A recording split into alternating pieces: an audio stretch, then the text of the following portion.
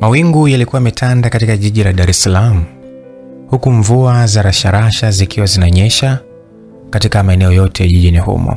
Kimya kilitawala, ila miungurumo ya hapa na pale ilikuwa ikisikika, huku ikisindikiza radi zilizokuwa zikipiga maeneo tofauti tofauti katika jiji hilo lenye watu wengi zaidi katika ukanda wa Afrika Mashariki. Kikundi cha abiria kutoka Kariakoo kwa kutumia mwendokasi kilikuwa katika kituo cha mabasi hayo kimara mwisho. Ndipo aliposhuka abiria zaidi ya tisini katika gari moja refu la mwendokasi, ambapo kati yao kulikuwa na binti mmoja kutoka familia ya kitajiri aitwaye Trisha. Alishuka huku akiwa amenuna vibaya. Ilionekana kuna mtu alikuwa akamkera sana. Sasa wakati wenzake wakiendelea kubaki katika kituo hicho kilichoezekwa vyema kwa mabati, yeye alitoka kituoni bila kuogopa mvua zilizokuwa zikiendelea kunyesha. Alitembea kwa mwendo wa taratibu, nywele zake hakuzifunika, hakujali. Alionekana kuna jambo lililokuwa limemsibu ambalo yeye hakulipenda. Tumboni alilibana begi lake na kutembea kwa mwendo wa taratibu. Alipofika juu kabisa daraja la Kimara, alisikia sauti ikimuita, lakini hakugeuka, kwani alikuwa akikasirishwa na mtu kumuita kwa kiwakilishi cha wewe. Aliendelea kutembea, lakini bado mtu yule aliendelea kumuita wewe, wewe mpaka alipomfikia. Da, yana kuita lakini wewe hautaki kuitika, alisema mtu huyo ambaye naye pia alikuwa akinyeshewa na mvua. Trisha alimgeukia kisha akamuuliza kwa jazba, hivi umelitaja jina langu sangapi? Kijana yule akatabasamu huku akiwa anajifuta maji ya mvua usoni mwake. Samani, silifahamu jina lako na nilijua na kufananisha, kumbe ni wewe kweli, alisema huku akizidi kutembea kuelekea upande wa pili wa daraja hilo. Trisha hakusema jambo, alimtazama kwa mbali. Alihisi ile sura alishawahi kuiona mahali fulani hivi. Akaendelea kutembea mdogo mdogo, huku akimtafakari. Kijana huyo alionekana wa makamo kidogo kuliko binti. Alikuwa mkubwa kabisa kwake, alionekana kumzidi kama miaka saba hivi. Kichwa alifunika kwa kofia ya sweta lake jeusi la mtumba, na kidevuni alikuwa na ndevu nyingi kupita maelezo, hazikupangiliwa na zilionekana ni muda mrefu hazijapita saluni kutengenezwa. Yule kijana akaendelea kusema, samani samani sana kama nakera, maana naona umenuna, sasa sijui lipi iliyokusibu. Trisha alimtazama alafu akamuuliza, wewe ni nani kwanza? Ah, mimi naitwa Maulidi. Ina maana unikumbuki? Mm, mimi sikukumbuki. Trisha alijibu hivyo halafu akatazama mbele. Sauti ya miungurumo ya mvua ilitaradadi na ikaongezeka na kutishia jiji la watu hawa.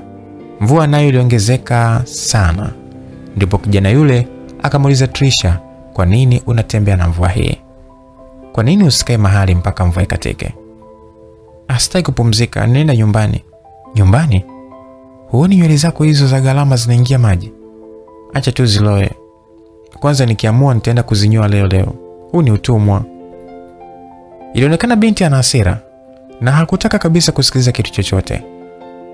Kutokana na mvua kuzidi, kijana Maulidi aliamua kuvua sweta lake na kubaki na fulana, halafu akamnyoshea binti, vaa. Mi sihitaji, wewe vaa tu, mi naelekea nyumbani. Walitembea mpaka wakashuka chini kwenye barabara ya lami na kuvukia upande wa pili. Kuna kituo cha polisi kilikuwepo. Walitembea kuelekea eneo la stendi yanayopaki magari yaendayo Matosa, bajaji, pikipiki na vyombo vingine vya usafiri. Madereva walikuwa wamejificha ndani ya miamvuli ya wafanyabiashara na wengine kwenye magari. Binti alisimama akatazama kama kuna pikipiki yoyote iliyokuwa karibu impeleke nyumbani. Akaona, ila tatizo dereva hakuwepo. Alisimama kando ya pikipiki, alafu bado Maulidi alisimama pembeni yake na alitaka kuongea naye kitu fulani. Unaelekea wapi? Nyumbani. Nyumbani wapi? Trisha alimwangalia Maulidi juu mpaka chini kwa dharau sana, maana alikuwa anamuuliza maswali yasiyo na msingi. Maulidi aliangalia pembeni kwa aibu, maana aliona kama binti sasa hajavutiwa na kampani yake. Eh, sister, unaenda wapi? Dereva bodaboda alifika pale. Nipeleke michungwani hapo, alijibu mtoto wa kike. Dereva aliweka pikipiki sawa na binti aliyepanda, alafu akaanza kuondoka huku mvua bado ikitandika vibaya kabisa. Hakumwaga Maulidi kwani alikuwa hana ukaribu naye wowote. Maulidi alitikisa kichwa kwa kusikitika, kisha akatafakari, huyu msichana anadharau sana. Halafu akavaa sweta lake ambalo alilivua kabla ili ampatie mtoto yule ambaye alilikataa. Baada ya dakika 15 tu binti alikuwa ameshafika maeneo ya Michungwani. Alimlipa dereva, halafu aliingia ndani ya geti lao, akakuta kimya kimetanda. Alifungua mlango wa nyumba na kuzama ndani, nguo zake zikiwa zimeloa. Alifika sebleni akamkuta mama na wadogo zake wakiangalia runinga. Tricia, mama alimuita kwa mshangao. Binti akuitika, Hasira zilikuwa zimemfika hapa. Alipita moja kwa moja bila kuongea chochote, alafu akaingia chumbani kwake akiwa na mawazo tele. Trisha, mbona umekuja na mvua mwanangu? Mama aliuliza huku akiinuka na kujaribu kumfuata mwanaye chumbani. Alishika kitasa cha chumba akakizungusha na kuchungulia, akakuta binti amesimama katikati ya chumba anavua nguo zake. Ikabidi amwite, mwanangu. Mama, naomba niache kwanza. Nikuache kivipi? Mbona sikuelewi? Mama, nasema niache, alisema kwa hasira na kuitupa blauzi yake kwenye tenga la nguo chafu. Alafu akamgeukia mama, machozi yalikuwa yanataka kumtoka. Kwa kuwa sasa mama alikuwa akimjua binti yake jinsi alivyo, ilibidi arudishie mlango, alafu akarudi sebleni. Huku nyuma alimwacha binti akivua nguo. Alipomaliza kuvua, alijifunga kitenge, alafu akaingia bafuni na kuoga hadi akamaliza. Alipomaliza, Trisha airudi chumbani kwake akaanza kuzikausha nywele zake kwa kutumia kikausho, yani dryer. Halafu akajipaka mafuta na kuvaa nguo safi pamoja na kavu, akajilaza kitandani na kuichukua simu yake, akaanza kusikiliza mziki kupitia spika za masikioni. Baada ya muda mrefu sana, mama alimuita, we Trisha, we T, lakini binti hakusikia kwani alikuwa ameweka mziki mnene kwenye masikio yake. Ikabidi mama sasa amfuate tena chumbani, akafungua mlango na kumfanya binti asimamishe mziki na kumtazama. Mwanangu, njoo ule, alisema hivyo mama. Trisha alishuka kitandani, alafu akasogea mlangoni. Mama akadhani mtoto anamfata, ila alipofika alibamiza mlango kwa nguvu, akajifungia ndani kwa ufunguo, alafu akajilaza. Jesus, huyu mtoto ana tatizo gani? Mama alijiuliza akiwa anashangaa. Kiburi kilikuwa sio cha nchi hii. Weti, njoo basi mwanangu, mbona unapenda kunipa presha? Lakini binti bado alikaa kimya, kwani alikuwa hataki stori na mtu yeyote kwa siku ile. Sasa mama alipoona juhudi zake zimeshindwa kufanikiwa, aliamua kurudi sebuleni, akaketi na kuendelea kutazama TV mpaka mida ya saa moja usiku. Honi zilisikika getini kwa matrisha Trisha. Akainuka raka na kutoka nje, kwani alijua fika ilikuwa ni gari ya mumewe. Alipofika nje, alimkuta mume wake ndio amefika. Akamfungulia geti, alafu akazama ndani ya geti na kufunga geti. Pole na majukumu mume wangu. Asante. Vipi, meshindaje? Ah, salama tu, ila binti yako ndo simwelewi kabisa. Ah, ukicha wake umeshamwanza eh? Aliuliza mzee huyu huku akifungua buti na kutoa vitu akamkabidhi mkewe. Ah, sijui amekwazika na nini, kaamua tu kuja na mvua inamnyeshea tu. Amenyeshewa na mvua hmm. Sasa kwa nini akuletwa na Steve? Mi sijui, kaingia amenyeshewa na mvua tu, hata kuniamkia hataki. Basi mzee alifunga buti na kuondoka haraka kuelekea ndani, akakuta watoto sebleni. Watoto walimsalimia na mzee aliitikia na kupita moja kwa moja hadi katika chumba cha binti yake. Akazungusha kitasa, ila mlango ulikuwa umebanwa. Trisha, Ti. we Trisha, umelala? Aliita huku akigonga kwa nguvu. Mzee huyo alikuwa anampenda sana binti yake wa kwanza, kwani alikuwa ni mtoto wake mkubwa, yani wa kwanza kabisa. Kitandani binti alikuwa hasikii. Alikuwa ameweka spika za masikioni huku akienjoi zake TikTok taratibu. Sasa kwa jinsi baba alivyokuwa anampenda binti yake, aliona ni heri akatoka kule ndani akazunguka kwa dirishani na kusogeza dirisha, maana lilikuwa na yani, lilikuwa limetengenezwa kwa aluminium. Halafu akamwita kwa nguvu, we Trisha, Trisha aliinuka na kuketi kitandani, alafu akatoa spika masikioni akauliza, we nani? Baba akajibu kwa hasira, hebu fungua mlango tongee. Ah, kumbe baba ndio mwanangu, toka nje. Sawa. Trisha aliposikia sauti ya baba yake alifurahi. Alikuwa amemzoea na alipenda kampani yake. Kikweli baba yake alikuwa ni mzuri kwake, alafu pia alikuwa ni role model wake, kwani kazi ambayo baba alikuwa akifanya daktari ndio pia binti alikuwa akisomea. Trisha alifungua mlango na baba yake aliingia. Binti akaketi kitandani na kumwomba msamaha. Nisamee mwanangu, nasikia Steve hakukuleta. Yaani mmenikera hivi. Kwa nini hamkusema hamji kunichukua hmm? Si ungesema tu mimi nijua napanda daladala leo. Ah, ningejua hakuja basi ningekufuata mimi kwa gari yangu. Nilijua amekuja kuchukua. Nisame basi, alisema baba na kumshika begani binti yake, akamlalia kidogo na kusema, mi kwanza naona bora tu niwe nakuja na daladala huku nikichoshana tu kumsubirisubiri mtu mwenye kiburi. Ah, hapana mwanangu, nitakutafutia dereva mwingine. Sawa baba. Haya, twende nje basi, usikae tu huko ndani. Trisha na baba yake waliinuka na kwenda sebleni, wakaketi katika sofa moja. Uso ulikuwa wa furaha sana kwa binti, hadi mama yake alishangaa kwa nini binti ampende sana baba yake. Kesho yake ilikuwa ni siku ya Jumamosi. Baba Trisha, mzee Mwaipopo, alikuwa anaelekea kazini kwake kama kawaida, lakini vile vile binti alitakiwa aende katika majadiliano ya chuo, kwani alikuwa akisoma chuo cha udaktari cha Muhimbili. Mzee aliwaaga na binti alibaki yeye, mama yake ambaye ni mwalimu wa shule ya msingi, wadogo zake pamoja na binti wa kazi. Kwani leo unaenda chuoni? Mama alimuuliza binti yake alipomwona akijiandaa. Ndio, ninaenda, kuna discussion. Sawa, unaenda sasa hivi? Ndiyo. Matrisha aliingia chumbani kwake akachukua simu na kumpigia Steve. Tafadhali, hebu naomba uje sasa hivi kumchukua mwanangu, usimwache kama jana. Sawa, hamna shida mama, nakuja. Jana niligafirika kidogo. Sawa mwanangu. Baada ya binti kujiandaa vyema, alikunywa chai, alafu akachukua begi na chupa yake ya maji, kisha akamwaga mama. Mama, mi naondoka. Hey, unaondoka? Kwani Steve ameshafika? Steve? Steve gani? Ah, nilimwambia aje kukuchukua na gari. Bwana, mi sitaki kupanda gari anayoendesha Steve mama. Hey, kwa nini mwanangu? Mbona unakuwa hivi? Amekosea nini Steve?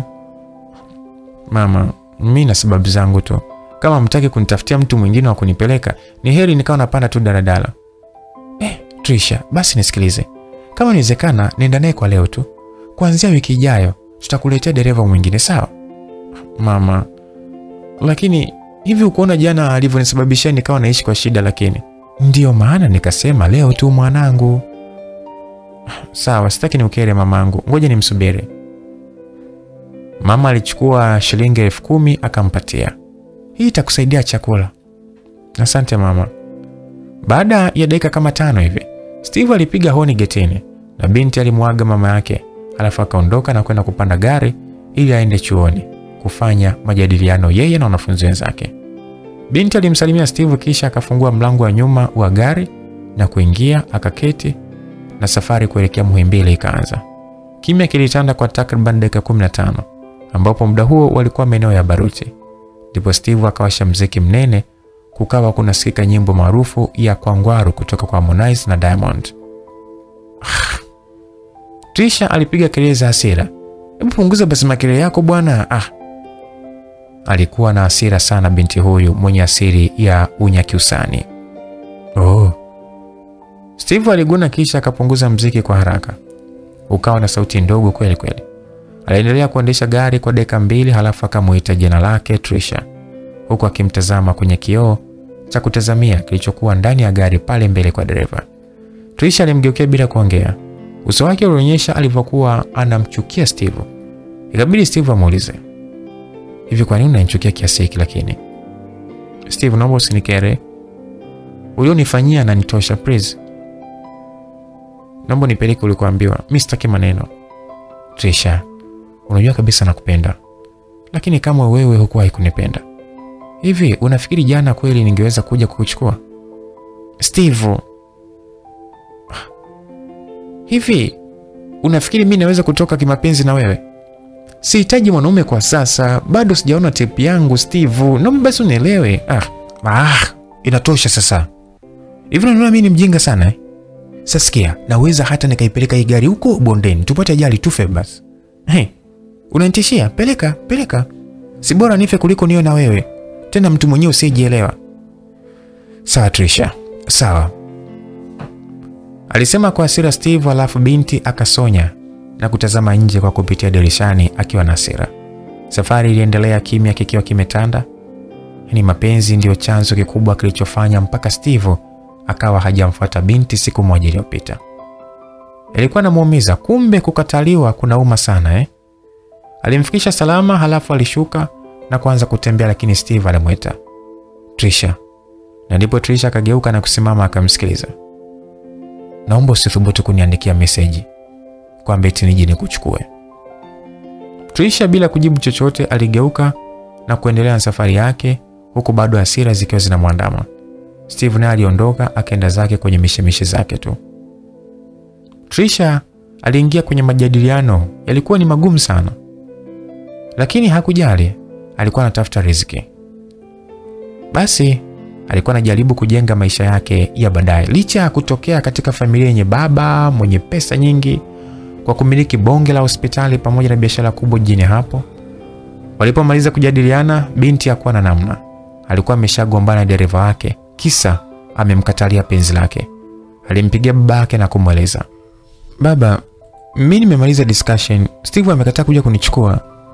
Usijali mwanangu, chukua usafiri wowote wa binafsi hapo uende nyumbani, lakini usipande daladala, sawa eh? Sawa baba.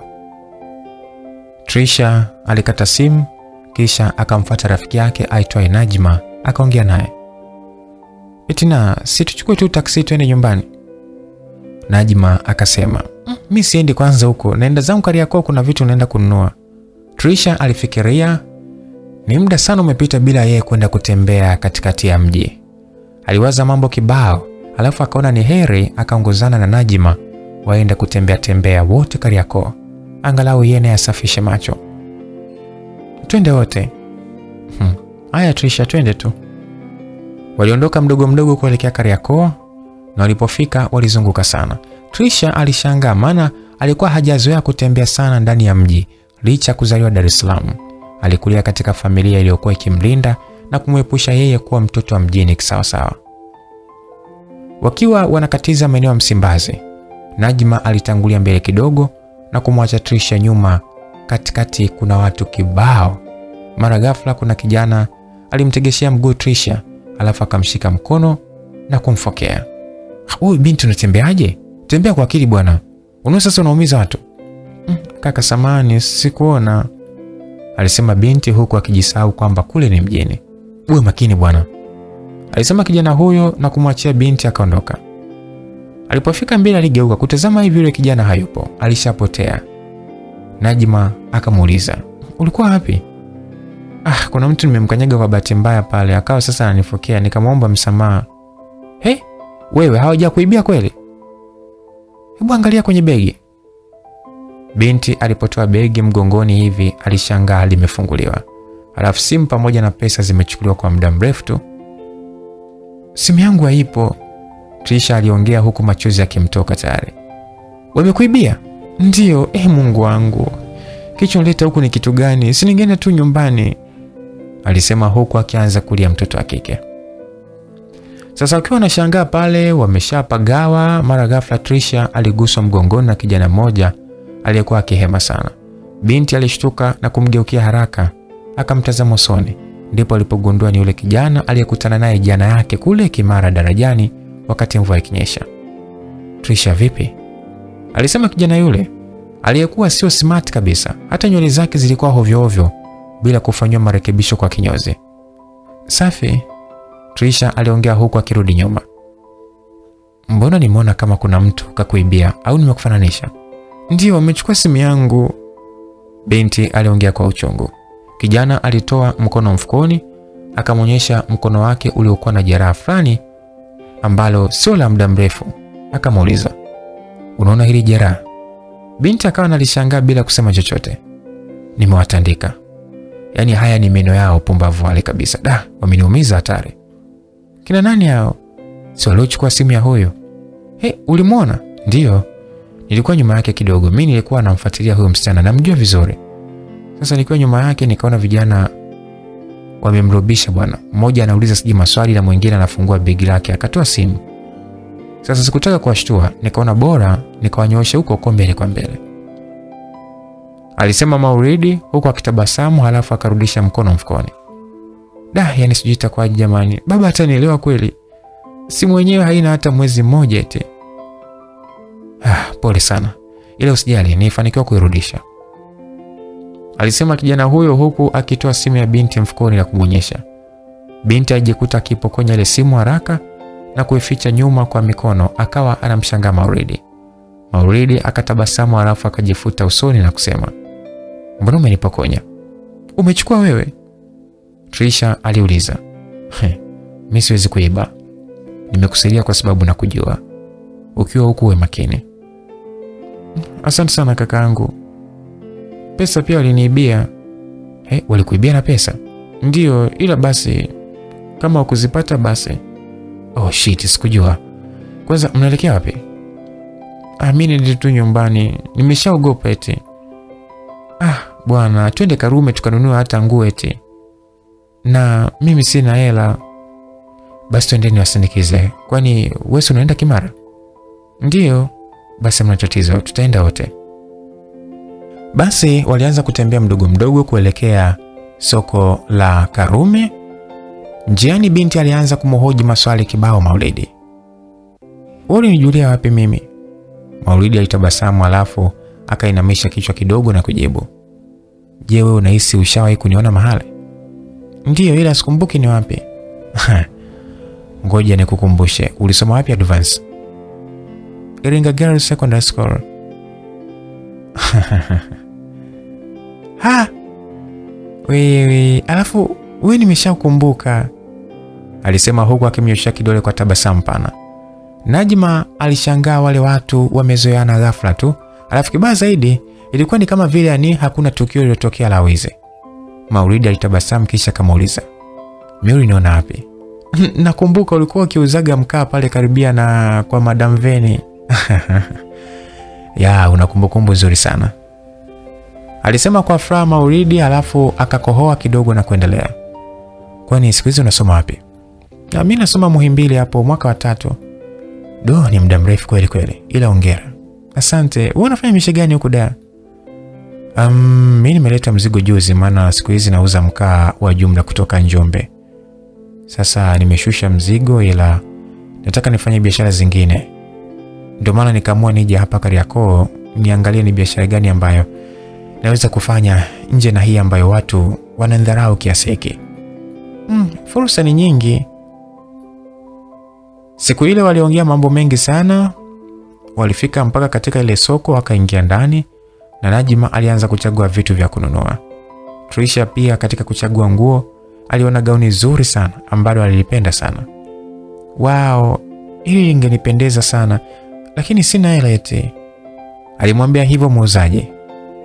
Mauridi ikabidi aulize, kwani hilo ni shilingi ngapi? Muuzaji akajibu ni shilingi elfu ishirini tu bro. Okay, mpatie, nitakupatia 15 mzee. Mauridi alisema kwa jeuri. Ah, kaka utakuwa umenipiga sana, fanya basi hata 17. Hapana mzee, ipo yoyo. Sawa basi toa hela. Mauridi alilipia ile gauni la Trisha na Trisha alishangaa licha kwamba zile pesa zilikuwa kwake ni za kawaida, lakini hakujua yule mwamba kwa nini alimnunulia nguo wakati wamekutana tu siku moja. Kwa kifupi, Trisha na Mauridi walifanya mambo mengi, hata chakula cha mchana walikula kwa pamoja. Alafu alimwaga Najima na kwenda kupanda mwendo kasi ili waelekee Kimara ambapo ni kwa binti huyo. Kutokana sasa na kuwepo kwa watu wengi sana, Trisha pamoja na Maulidi walikaa kimya bila kuongea mpaka mwisho wa safari. Walishuka kwenye basi la mwendokasi, alafu walipanda juu darajani ili waweze kutoka kituoni pale. Wewe unaishi huko Kimara? Ndiyo, nimeshukia kwa mjomba wangu kule Bonyokwa. Bonyokwa? Sasa mbona unaenda huku? Nakusindikiza tu. Vipi, naweza kupata namba yako Trisha? Mm, namba yangu Mm. Okay, hamna shida, andika. Wow. Alisema Maulidi na kutoa simu mfukoni, akatoa kiswaswadu chake na kumwambia sawa, nitajie. Haya, sifuri saba tano saba. Maulidi aliandika ile namba akahifadhi na kurudia huku akihema. Trisha akaa na mshangaa, mbona unahema hivyo? Maulidi alitabasamu na kutikisa kichwa akasema hamna hata. Walitembea mpaka wakafika pale kwenye kituo cha pikipiki, ndipo binti alipopanda pikipiki na kuondoka zake kuelekea nyumbani. Maulidi alikuja daa kuleta mkaa, lakini amekuja kushangaa anakutana msichana ambaye anamjua muda mrefu, na ilikuwa ni kama masiara tu, lakini walizoeana kwa ghafla sana. Alirudi upande wa pili akapanda bajaji za Bonyokwa. Trisha alipofika nyumbani alimkuta dada wa kazi akiwa anafua nguo nje ya nyumba yao kidogo, huku akisikiliza nyimbo kwenye simu yake. Nusrat aliita Trisha. Abe dada, karibu. Asante mdogo wangu, unaendeleaje? Salama tu dada. Basi upande mwingine, baba Trisha ambaye anaitwa Joseph Mwaipopo alimaarufu kwa jina la Dr. Mwaipopo alikuwa ofisini kwake katika hospitali yake iliyoko maeneo ya Mabibo. Alipokea simu kutoka kwa Steve. Steve alikuwa anamlalamikia, mi siwezi kuendelea kumpeleka mtoto wako bwana. Kwani mna tatizo gani nyewe watu? Ah, mtoto wako anadharau sana, maneno mabaya ananiongelesha mimi. Pole basi, nitaongea naye nijue tatizo lake ni nini. Haina haja mzee, hata mkiongea naye mi siwezi kuendelea kumwendesha na gari yangu tena, bora nichukua wateja wa kuotea tu, alisema kwa hasira Steve, lakini ubaya ni kwa sababu tu amekataliwa. Alikata simu na kumwacha mzee njia panda. Sasa huku nako binti akiwa amejilaza kwa tumbo kitandani, alipokea meseji kutoka kwa namba ngeni. Mambo, alitabasamu kwa kujua lazima atakuwa ni Maulidi. Poa, mambo, alijibu vizuri msichana huyo. Poa tu, vipi, umeshafika nyumbani tayari? Ndiyo. Okay, poa, na mimi ndo nimefika. Mauridi hapa. Nishakujua muda mrefu tu. Asante kwa mambo ulionifanyia leo. Usijali, tunazidi kupambana. Haya, sawa. Vipi, ushakula? Tangu tulipokula pale sijala tena, bado nimeshiba. Haya bwana, mi nakula tena, napenda kula. Umeanza vituko eh? Unapenda kula, mbona sio kibonge sasa? Ah, mi kwani ni mwembamba mimi? Ah, sio sana, ila sio mwili wa mlaji huo. Huo mwili unaonekana ni unakula kidogo au na stress? Wala sina stress yoyote. Tuisha nikuulize kitu? Niulize tu. Hivi kwa nini jana ulikuwa umevurugwa sana? Unajua mpaka niogopa. Ah, kuna mtu aliniudhi tu. Ya, bila shaka ni shemeji. Ah, hapana, sio shemeji wala nini. Ni mtu tu yani alinikorofisha. Afu mimi sipendagi masiara na maisha yangu Mauridi. But nafikiri nitakwambia siku nyingine. Hmm. Sawa. Pole kwa makasiriko. Lakini nikushukuru pia kwa kunipa namba yako. Unajua mimi nivyo yani nilikuwa sidhani kama mtoto mzuri kama wewe eti utakubali kunipatia namba. Asante sana ti. Hmm. Usijali, ni kawaida tutawasiliana. Poa, baadaye basi ili uweze kula. Okay, poa. Trisha aliweka simu pembeni, alafu akawaza mambo mengi. Alikumbuka tukio moja ambalo Maulidi alishawahi kumfanyia kipindi huko shuleni huko Iringa. Ndipo akagundua kwamba milima haikutani ila watu hukutana. Aliwaza na kuwazua akasema, Maulidi sio mtu, ni mnyama, tena mnyama hatari mwenye hasira kali. Msikilizaji, unaweza ukajiuliza Maulidi alifanya tukio gani zito kiasi hicho? Kumbuka, mtunzi wa simulizi hii anaitwa Mr. AB. Ninaye kusimulia simulizi hii ni mimi rafiki yako Lucas Lumbas kutoka hapa Simulizi Mix. Basi ilikuwa ni siku ya Jumapili katika kanisa la King'ongo KKT, ndipo ilipokuwa ikisali familia ya Dr. Mwaipopo. Alikuwa yeye na wanaye wote kanisani pamoja na binti wa kazi. Wakati huo mkewe mama Trisha alikuwa anapita kule mbele, kuna michango alikuwa akikusanya. Mzee alisikitika, kisha akasonya kidogo na kumgeukia Trisha, alafu akamnong'oneza ila mama yako ni mzuri eh? Trisha alishtuka na kumshangaa baba yake. Hakuwahi kudhani baba yake atamwambia maneno kama yale. Hii ilimpelekea binti kuangua kicheko. Alishindwa kuvumilia, aliangua kicheko na kutoka kule kanisani akiwa anacheka na machozi yakimtoka. Trisha alifika nje akachuchumaa mahali akacheka sana pale alipokuwa akikumbuka kauli ya baba yake kwamba mama ni mzuri. Trisha alicheka sana, akabaki anajiuliza peke yake, sasa imekuwaje mpaka mimi niambie hivyo? Lakini alijifuta machozi kwa kitambaa na kujitahidi kuinuka, huku macho yake yakibaki mekundu kidogo. Alirudi ndani na kuketi kando ya babake. Alipoketi tu, babake alimtazama usoni, akagundua binti katoka kucheka. Ndipo akatabasamu na kusema kwa sauti ndogo, sasa unacheka nini? Hamna, sijacheka. Basi baada ya ibada waliondoka na kurudi nyumbani wakiwa kama familia yenye furaha tele. Ilikuwa ni mapema sana, saa nne asubuhi ndipo walipofika nyumbani, maana waliingia misa ya kwanza.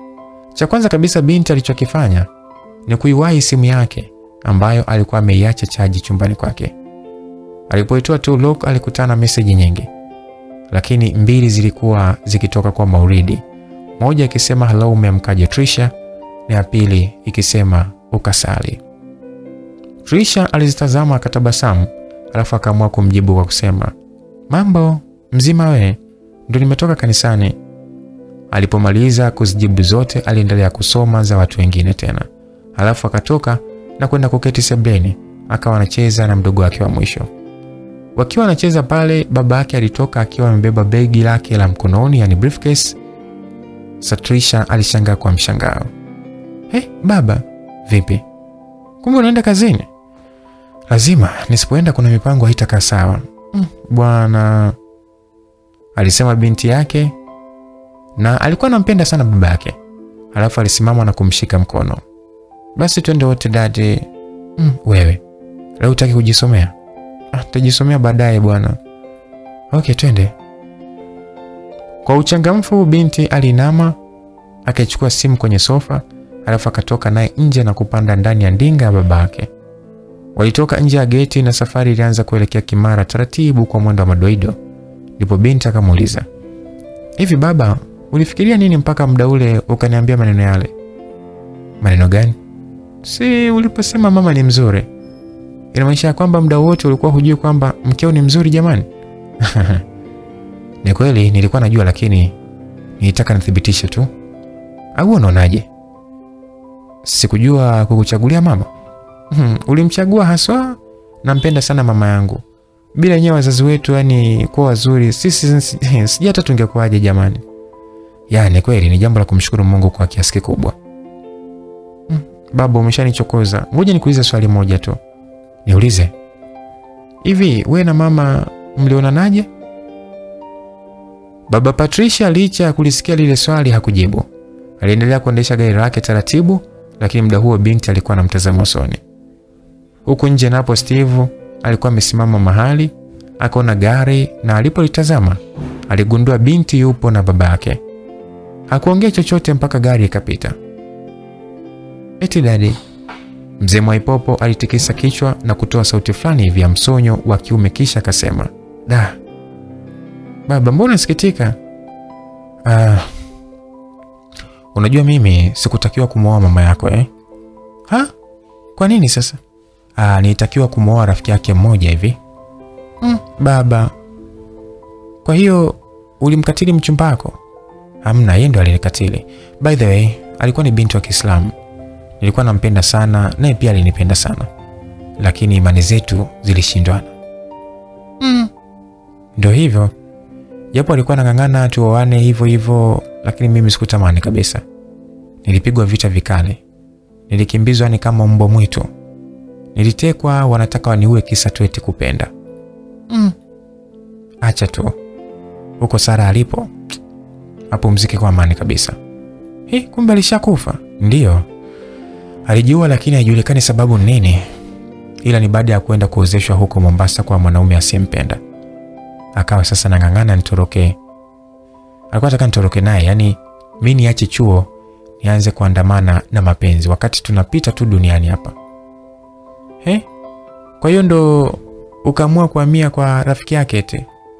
Ah, hapana, sikuhamia, ila tujikuta tu tayari, maana baada ya rafiki yake kuondolewa pwani, yeye ndo alibaki karibu yangu kama kunitia moyo na kunifariji. Kwa hiyo mwishowe nikaona ni bora tu nimwoe. Mm. Hmm, unaguna? Naguna maana nimegundua kumbe humpendi mama. Sio kwamba simpendi, nampenda sana. Ile ilikuwa ni njia tu ya kuniweka karibu naye. Ningekuwa simpendi, hivyo nadhani ningeweza kumwoa. Eh? Mimi kipindi hicho nilikuwa ni handsome. Alafu sasa wasichana walikuwa na wanajigonga wewe. Eh. Usicheke. Alafu kipindi chetu sasa ukiwa umesoma ulikuwa unaonekana kama mfalme. Familia zote zilitamani nioe kwao. Ha? Sasa kwa nini hiyo familia ilikataa sasa? Na sio kwamba walikataa, hawakukataa nisimwoe, ila kulikuwa kuna sharti la kubadili dini. Sasa kwa nini usingebadili? We, nibadili? Kwa dini ipi? Hebu acha mambo yako wewe. Ina maana ukikutana kijana ambaye sio Mkristo unaondoka, sio? Hmm? Hapana baba, mimi sijamaanisha hivyo. Wewe usithubutu kabisa, nitakulaani mwanangu, hiyo sio dini. Alisema baba alionekana kuwa na kisasi kikubwa na Uislamu mara baada tu ya kunyimwa tunda lake marehemu Sara. Kwa hiyo aliumia sana. Ah, sikuumia kuachana naye, ila kilichoniuma zaidi ni kuhusu yeye kujiua. Hakika nilikasirika mpaka leo, yani sipendi kabisa kukumbuka. Ah, pole baba, asante. Baada tu ya hadithi hiyo, binti alipokea jumbe mfululizo kutoka kwa Maulidi na zilikuwa hivi: pole na ibada, umeniombea dua. Hiyo ilikuwa ni meseji ya kwanza. Ya pili isomeka kwamba usijali, vipi huko nyumbani au leo umetoka pia. Ya tatu pia ilisomeka ya kwamba kuna kitu natamani kuambia Trisha tukionana. Trisha alizisoma zile meseji akatafakari kwa sekunde kadhaa, kisha akamuuliza kwa kumtumia SMS, kitu gani unataka kuniambia Maulidi? Basi Maulidi alimtumia ujumbe Trisha na kumwambia kwamba anaomba ampigie ili aongee kwa mdomo. Trisha akamjibu, no, niko busy kidogo, nikiwa free tu nitakwambia unipigie, lakini kama unaweza kuniambia kwa message ingependeza zaidi. Basi ukiwa free utaniambia ili nikupigie. Sawa, poa. Hawakuchati sana, kwani muda ule binti alikuwa anautumia kupiga stori mbili tatu yeye na baba yake. Baada ya nusu saa, baba Trisha pamoja na Trisha waliingia katika hospitali yake kubwa iliyokuwa Mabibo na hata kumwacha binti yake nje akiwa anasalimiana na wafanyakazi, kwani walikuwa wamemzoea kiasi tu. Baada ya kukaa pale kwa muda mrefu sana, alikosa kampani, maana baba yake alikuwa busy sana. Binti akajikuta anaanza kumdekia baba yake. Daddy, please give me the key. I wanna drive. Alisema akimaanisha kwamba ampatie funguo kwani alikuwa anataka kuendesha gari ya babake. Trisha, stop. Bado hujaiva katika udereva. Hivi unataka unitie hasara tena eh? Mm. Binti alijikunyata kwenye kiti kwa dakika kadhaa, lakini baba hakuwa na muda naye. Hii hali ilimfanya binti aamue kuichukua simu yake na kuingia mtandaoni, akawa anasoma notes za masomo yake taratibu. Lakini vile vile Najma ambaye alikuwa ni rafiki yake wakati wakiwa chuo alimtumia ujumbe kwa njia ya Telegram, ujumbe ulioambatana na picha ambayo binti huyo alikuwa amevalia moja ya nguo alizokuwa wamezinua siku moja kabla kule maeneo ya Karume. He, rafiki yangu umependeza, alituma ujumbe binti Trisha. Najima naye akauliza, kweli nimependeza eh? Mno. Asante Dr. T. Alimuita kwa madoido halafu akamuuliza swali. Vipi la kwako ulilivaa leo? Ah, wala hata alijafuliwa bado. Lakini T, hivi ule kaka aliyekunulia nguo wewe umemjulia wapi? Mbona kama mmezoeana? Ah, yani yule yule ni wa Iringa, tulishawahi kujuana kabla, ila nilimshangaa amenizoea sana. Hata sasa hivi yani ananisumbua sana kwenye simu. Mm, mm, labda ameshakupenda, ila nahisi naye yule ni mwizi tu. Kwa najiuliza kwa nini akurudishie simu alafu akunulie na nguo. Hii ina maana alitumia pesa zako, yaani aliyeiba ni yeye, alafu baadaye akajua kwamba hataweza kuiroki hiyo nani, kuifungua hiyo iPhone. Maana ingekuwa ni simu nyingine angeweza, lakini hiyo iPhone alishindwa namna ya kuiunlock. Unajua mwenyewe nimehisi hivyo hivyo, shoga yangu, ila siwezi kumlaumu bwana bila kuthibitisha. mwingine angetupa huko au hata angeuza hata kwa wanunuzi wa simbovu, lakini aliniletea. Mm, haya bwana, inaonekana mnafahamiana vizuri kabisa. Ah, hapana, sio kivile, ila namjua tu, tena ni baada ya kunikumbusha kwamba alikuwa jirani na shule yetu kule Iringa. Najima hakuendelea kumjibu binti, ndipo binti akaendelea kusoma mtandaoni. Ghafla alikumbuka kuna kazi walikuwa wameachiwa na mwalimu, yani assignment ya mtu moja moja, na ilitakiwa ikusanywe siku moja baadaye. Alimtazama baba yake ambaye alikuwa bize akijaza taarifa kwenye tarakilishi ya ofisi yake. Baba, naomba niondoke. Aisee, kumbe na kazi inayotakiwa nikakusanye kesho shuleni huko. Kwani ulikuwa umesahau? Ndiyo, yaani sipo serious na shule kabisa baba, naomba niondoke baba, alisema binti na kusimama akijinyosha. Sawa basi, um, ngoja nikupe nauli hapa, au nenda hapo nje mwambie Cuthbert hapa akupeleke. Sawa baba. Trisha alitoka nje ofisi akashuka ghorofani na kufika chini akamkuta Cuthbert akiwa anapiga stori na mlinzi, ndipo akasema, kaka Cuthbert, baba ameniambia ni kuomba nipeleke nyumbani. Kimara? Ndiyo. Ah, okay, poa. Kijana yule aliondoka pale alipokuwa mlinzi, kisha akaenda mpaka kwenye pikipiki, ndipo akaiwasha na kusogea karibu na Trisha. Trisha alipanda alafu akaondoka zao kwa pamoja. Baada tu ya kufika nyumbani, Trisha aliwahi kwanza ukumbini kuangalia kama kuna msosi, ndipo akakuta mambo bado. Akafungua friji na kutoa juisi, kisha akamimina kwenye glasi, alafu akaingia chumbani kwake. Akiwa chumbani, aliwasha kipakatishi, yani laptop, alafu akaanza kuangalia swali lake linajibiwaje.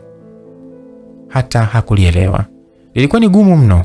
Ndipo akapata wazo la kumpigia kijana mmoja aliyekuwa akiitwa Nixon ili amsaidie, maana alikuwa akili zikiwa zimo za kutosha sana, yaani kwa upande wa darasani alikuwa anafanya vizuri. Akampigia na kupokea simu. Oya Trisha. Yes, mambo Niki? Poa kabisa. Niambie madam dokta. Mwenzako bwana, nimeshashindwa swali la Dr. Zabibu eti. Nisaidie basi. Ina maana hujafanya mpaka muda huu? Ah, I say. Si. Ah, wewe uko serious.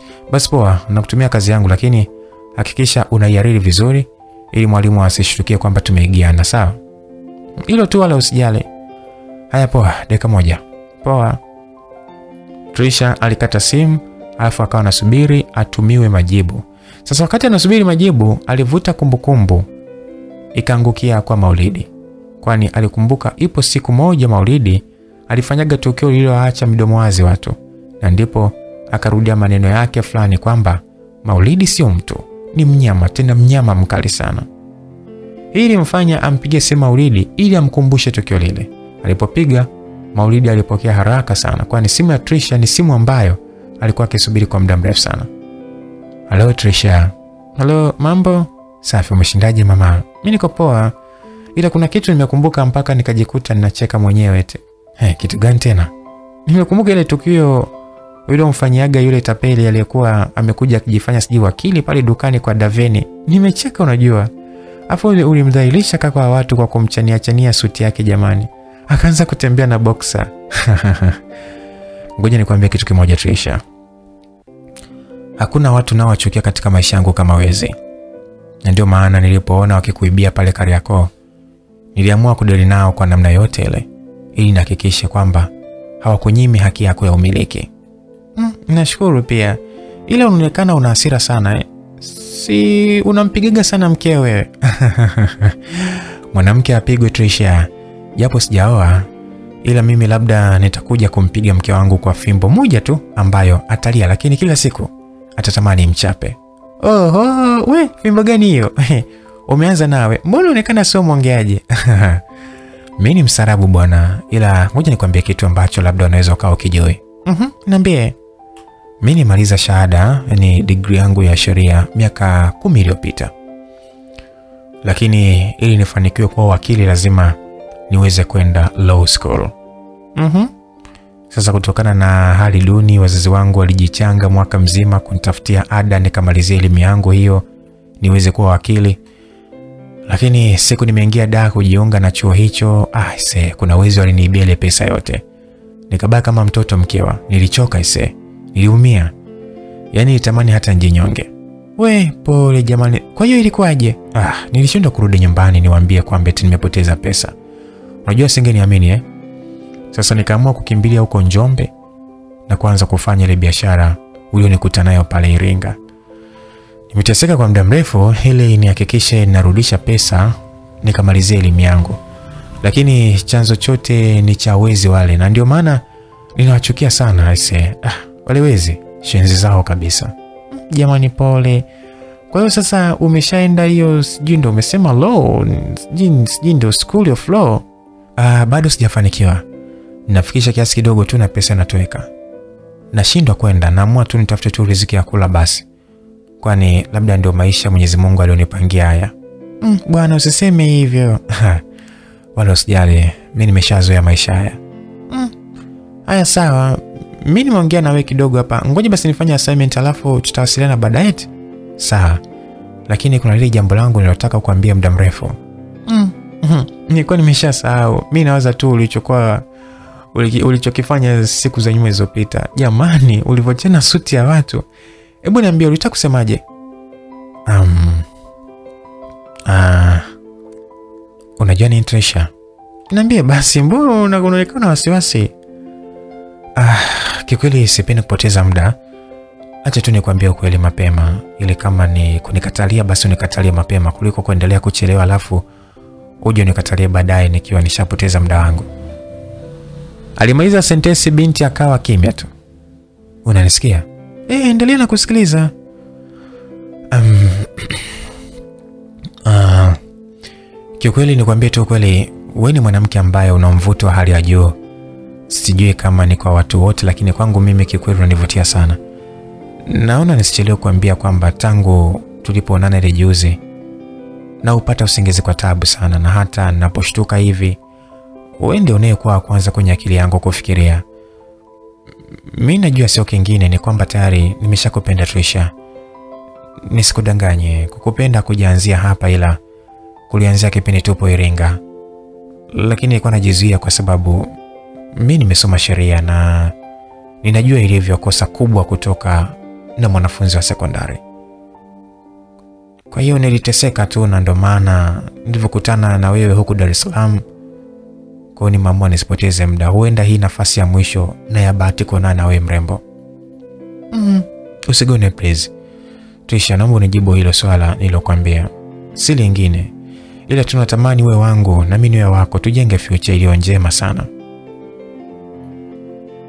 Trisha alibana sauti yake kwa muda wa sekunde ishirini alafu akaachia kwa nguvu na kumwambia, naomba nikujibu express Kwa kuwa Maulidi hakuwa na haraka, alimwambia sawa, nijibu basi, ila usije ukafanya hiyo ndio njia ya kutonijibu au hata ukaniblock kabisa. Hapana, wewe niamini, mi sitafanya hivyo. Sawa. Trisha alikata simu. Maulidi naye aliweka simu pembeni, alafu akatulia na kusubiri jibu.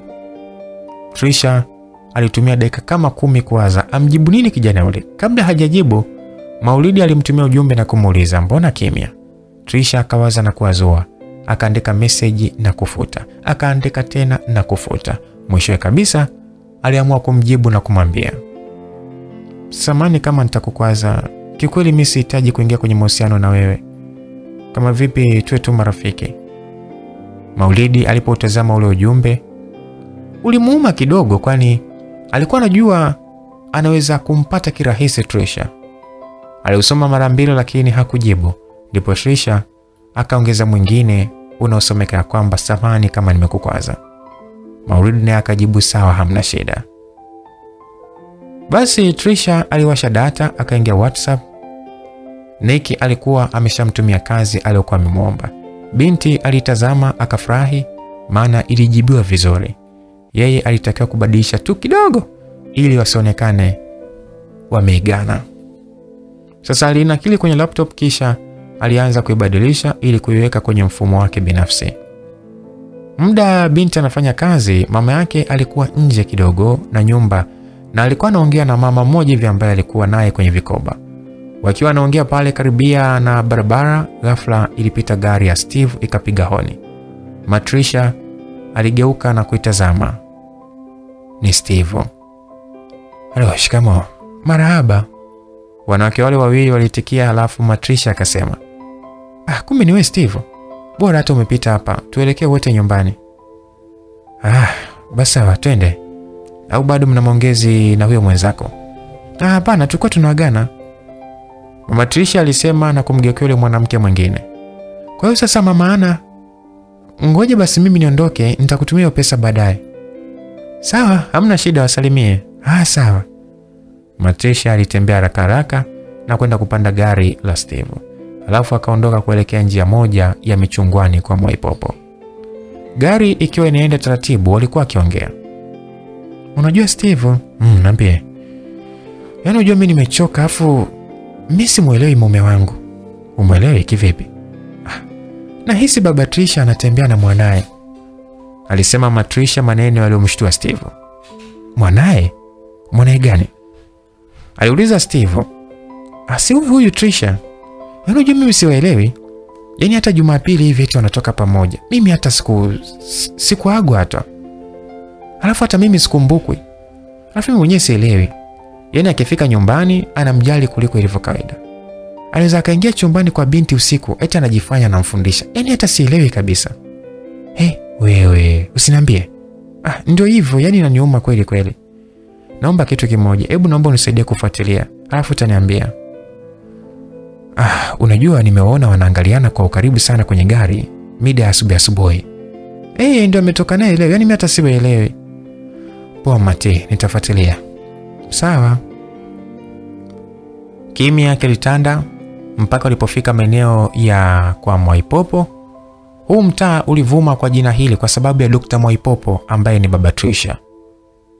Bye, mama Trisha alisema na kufungua mlango wa gari ili ashuke mara tu baada ya gari kusimama karibia na getini kwake. Bye, tutawasiliana. Matrisha alifunga mlango kisha akaondoka zake kuelekea nyumbani. Alifungua geti dogo alafu akaingia ndani. Alipofika ndani alikuta dada wa kazi bado anafanya kazi ya usafi pale nje. Wewe hujamaliza tu? Ndio mama, namalizia. Sasa chakula utapika saa ngapi? Ah, nimeshaweka jikoni. Ah, sawa. Basi alijibu hivyo mama na kupita moja kwa moja akaingia ndani. Alipofika ndani alikuta mtoto wake wa mwisho anaitwa Providence akiwa amekaa kwenye zulia chini kabisa anasoma. We Provi, alisema kwa furaha mara baada tu ya kumkuta anasoma. Providence alimtazama Mae huku aking'atang'ata penseli. Unasoma nini mwanangu? aliuliza kwa tabasamu pana. Dada amenipa maswali ya hesabu. Ah, nani? Dada Caroline au? Hapana, Datrisha. Mm, amesharudi? Ndiyo, yuko ndani kwake anachezea laptop. Ah, sawa. Kidogo nafsi ya mama ilipoa, maana alikuwa akiumia sana kila mara baba alipokuwa akitoka na binti yake. Alijua labda anatembea naye, maana alikuwa na mjali kupita maelezo. Aliketi sebleni akawasha TV na kuanza kuangalia kipindi cha mahubiri kilichokuwa kinaendelea kwenye chaneli moja. Alitazama kwa muda wa dakika ishirini ndipo Trisha alipotoka chumbani kwake na kutoa sebleni akiwa anapiga miayo na kujinyosha nyosha. Alipomaliza alitabasamu baada ya kumwona mama yake. Eh, mwanangu umesharudi? Ndiyo mama, nimerudi muda. Mbona nilikuwa nafanya assignment hata sijamaliza. Oh, sawa, alisema mama na kumtazama mwanaye kwa jicho fulani hivi lilojaa wasiwasi. Mama, mbona niangalia sana? Ah, vipi umekula kwanza? Na hata njaa sina mama, alijibu Trisha, halafu akainuka na kwenda chumbani kuchukua simu yake. Matrisha alishaanza kumuhisi binti yake vibaya, alafu binti alipokuwa amesema hana njaa, alijua moja kwa moja alikuwa ameshakula huko alipoenda na baba yake. Trisha irudi na simu kisha akaketi na kuanza kuichezea. Mama akamuuliza, "Babu umemwacha wapi? "Na sikazini kwake. Oh. Mama aliongeza sauti ya TV kuendelea kusikiliza mahubiri mwanana kabisa. Trisha alitazama kidogo kama vile shetani alivyo makini kwenye udhaifu kuanzia pale. Binti alipokea simu kutoka kwa baba yake mzazi, alafu akapokea kwa mbwembwe bila kujua mama anamhisi vibaya. Dadi, alisema binti kwa furaha huku akiinuka na kuondoka kurudi chumbani kwake. Moyo wa mama Trisha ulimwenda mbio, akawaza ehe, si unaona sasa. Akapunguza sauti ya runinga ili aweze kusikia maongezi, lakini binti alipokuwa anaongea na baba yake alitumia sauti ndogo ambayo mama yake asingesikia akiwa sebleni. Mama alijaribu kuvumilia lakini akashindwa. Ndipo akainuka na kunyata akaenda mpaka mlangoni kwa binti. Alisikia kwa mbali binti akiongea na baba. Nimekumisi pia baba, nilijua leo tutakuwa wote nyumbani tu, lakini wewe uko bize na kazi sana. Mama alishika mdomo kwa mshangao, hasira zilimjaa. He. Sasa alichoamua kufanya, aliamua kuchukua simu yake na kurekodi maongezi. Roho ilikuwa ikimuuma kabisa, yaani alikuwa amechanganyikiwa kabisa. Baba aliendelea kuongea na mwanaye. Ulifika saa ngapi? Mbona ukuniambia? Nilifika muda ule ule baba. Aha, maana yule dereva simwamini kabisa.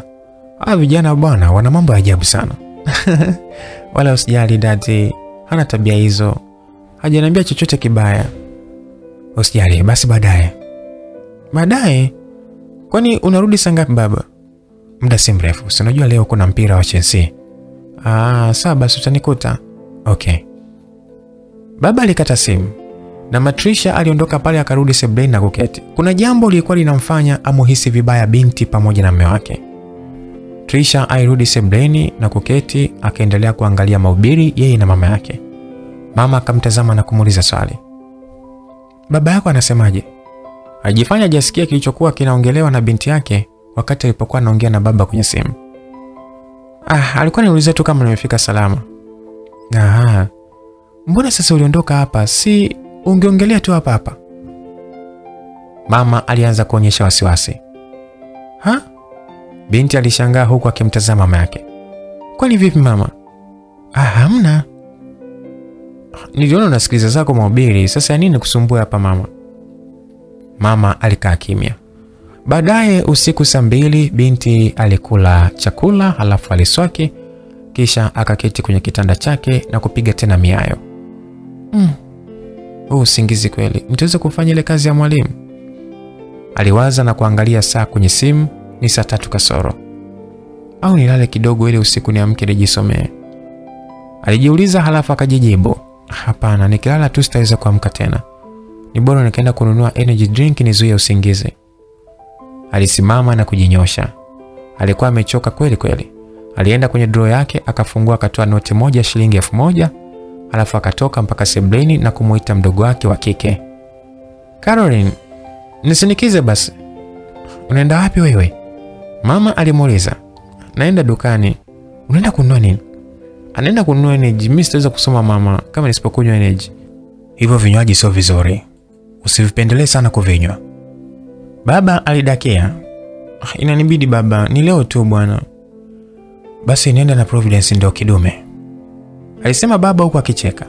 Basi Trisha alimwangalia tu Providence, baadaye alienda dukani kununua energy drink. Pia alimnunulia juisi ya embe, alafu alirudi nyumbani. Binti aliingia chumbani akanywa energy yake taratibu tu, huku akiendelea kufanya kazi ya mwalimu. Ilipofika saa sita usiku, binti alikuwa ameshamaliza kuiandaa ile kazi ya mwalimu, na alipomaliza alijiegesha kitandani kutafuta usingizi. Alijaribu kujilazimisha asinzie, lakini wapi. Alishuka kitandani akaketi kwenye kiti, kisha akavuta kitabu chake ajisomee. Alisoma kama dakika tano, lakini akili ilikuwa imeshakataa kabisa kusoma.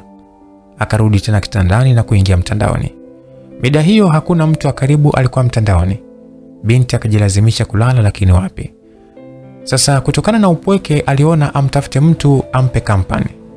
Uzuri au ubaya mmoja alimtumia ujumbe mauredi Hello, alituma na kujifunika ili angalau aendelee kutafuta usingizi alale. Baada ya dakika moja tu Mauridi alijibu. Hello, vipi hujalala tu? Sijalala, sina usingizi. Nikajua umeshalala. Ah, bado sijalala. Niko najiandaa hapa, nataka niondoke usiku huu huu. Unaenda wapi? Ah, naenda zangu Njombe. Naenda kutafuta mzigo mwingine. Sasa afu kwa nini upate usingizi?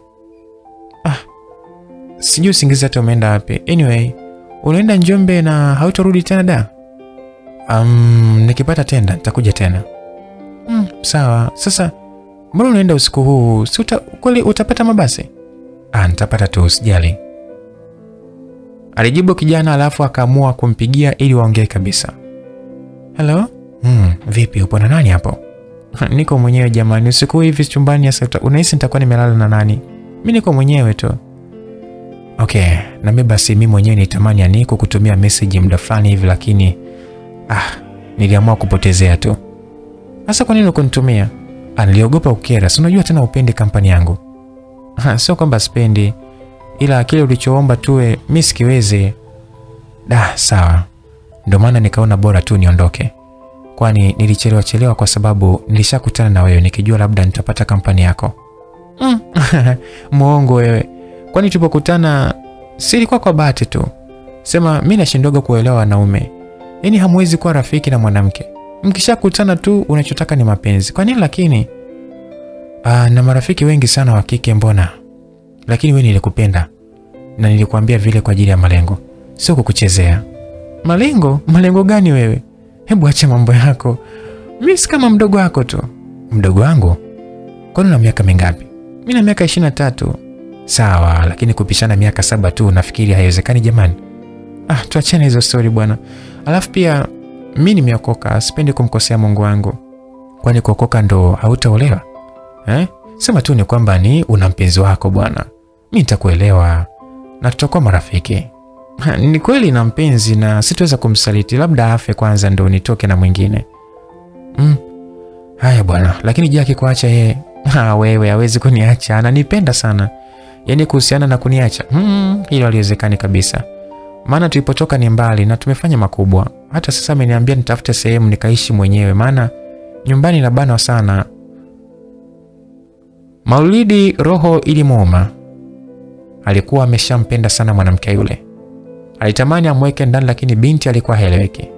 Alijua kwamba hataweza kumpata kabisa mtoto wa kike, ndipo akamwambia basi poa, naomba niendelee kujiandaa, basi tutawasiliana. Poa, nikutakia safari njema. Asante sana. Maulidi alikata simu yake. Bado alikuwa na maumivu makali katika moyo wake. Alikuwa anampenda sana binti. Alianza kupanga vitu vyake kwenye begi lake kubwa lenye vitairi, alafu aliketi kitandani na kuwaza kama amesahau kitu chochote kile. Hivi nimeweka kweli ile picha?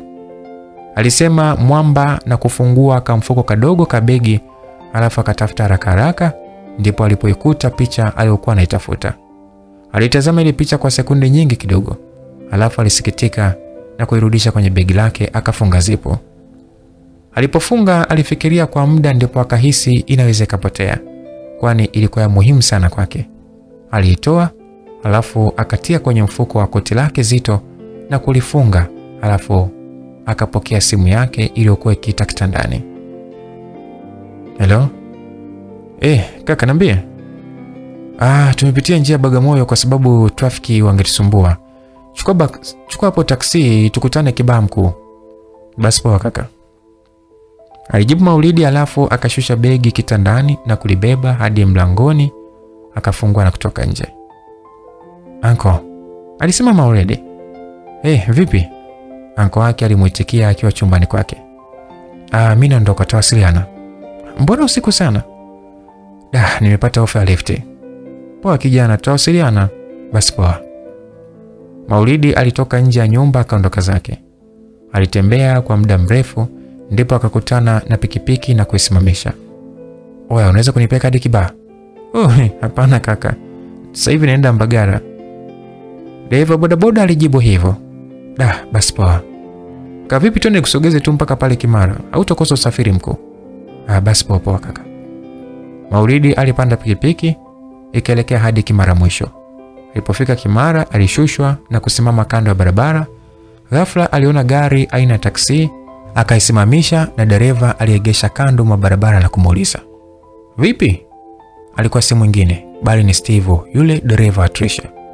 Ase freshi, upo kazini au unaenda kulala? Ah, mimi naenda kulala, ila nikipata kazi napiga mzee. Hapa mjini hamna kulala. Okay, nipeleke zangu basi Kibaha. Shingapi mzee? Du, Kibaha 30 kiongozi. Ah, utakuwa umeua sana. Tufanye 20 basi. Steve alifikiri halafu akasema okay, twenzetu. Poa poa. Maulidi alifungua mlango wa gari na kuzama ndani yake, alafu safari ikaanza kwa spidi kubwa sana. Gari ilitembea bwana, ikiwa kwenye moto ule ule. Maulidi alitoa picha aliyokuwa amehifadhi mfukoni kwake, alafu akawasha tochi ya kisosadu na kuitazama ile picha kwa muda mrefu sana. Usingizi wa ghafla ulimshika Maulidi pale pale hadi kupelekea kuidondosha ile picha kwenye gari, mpaka alipokuja kushtuliwa na dereva, walikuwa wameshafika kibaa Oya, unalala sana mzee, tumeshafika eti. Ah, kudadeke, usingizi ni mtamu sana. Tuko Kibaha eti? Ndio kaka. Basi poa poa. Maulidi alitoa shilingi elfu kumi mfukoni mwake, alafu akampatia Steve. Shukrani kaka. Haina noma.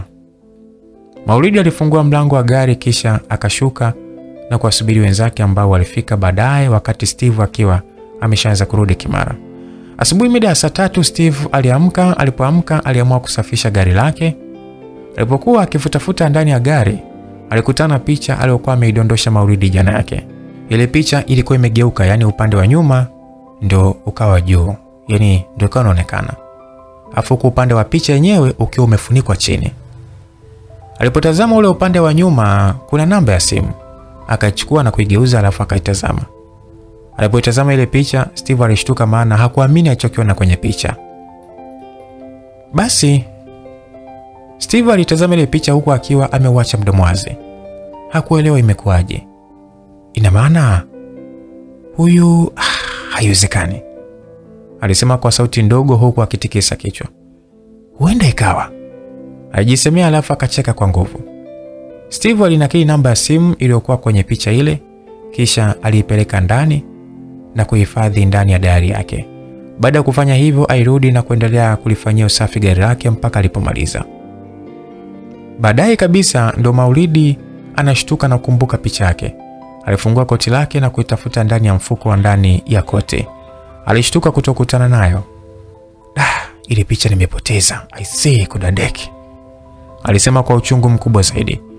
Wenzake aliokuwa nao kwenye gari wala hawakumwelewa, maana kuna wakati akili yake ilikuwaga kama haiko sawa kabisa.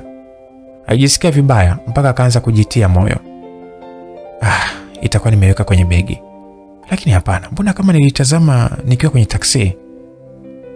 Ah, hebu ngoja nitaitafuta tukifika, alijisemea hivyo. Usiku walifika Njombe, kuna mzigo alikuwa akiufuatilia. Alipoangalia kwenye begi, wala hakuiona picha. Alipiga begi teke kwa hasira, maana alikuwa amepoteza picha muhimu sana katika maisha yake.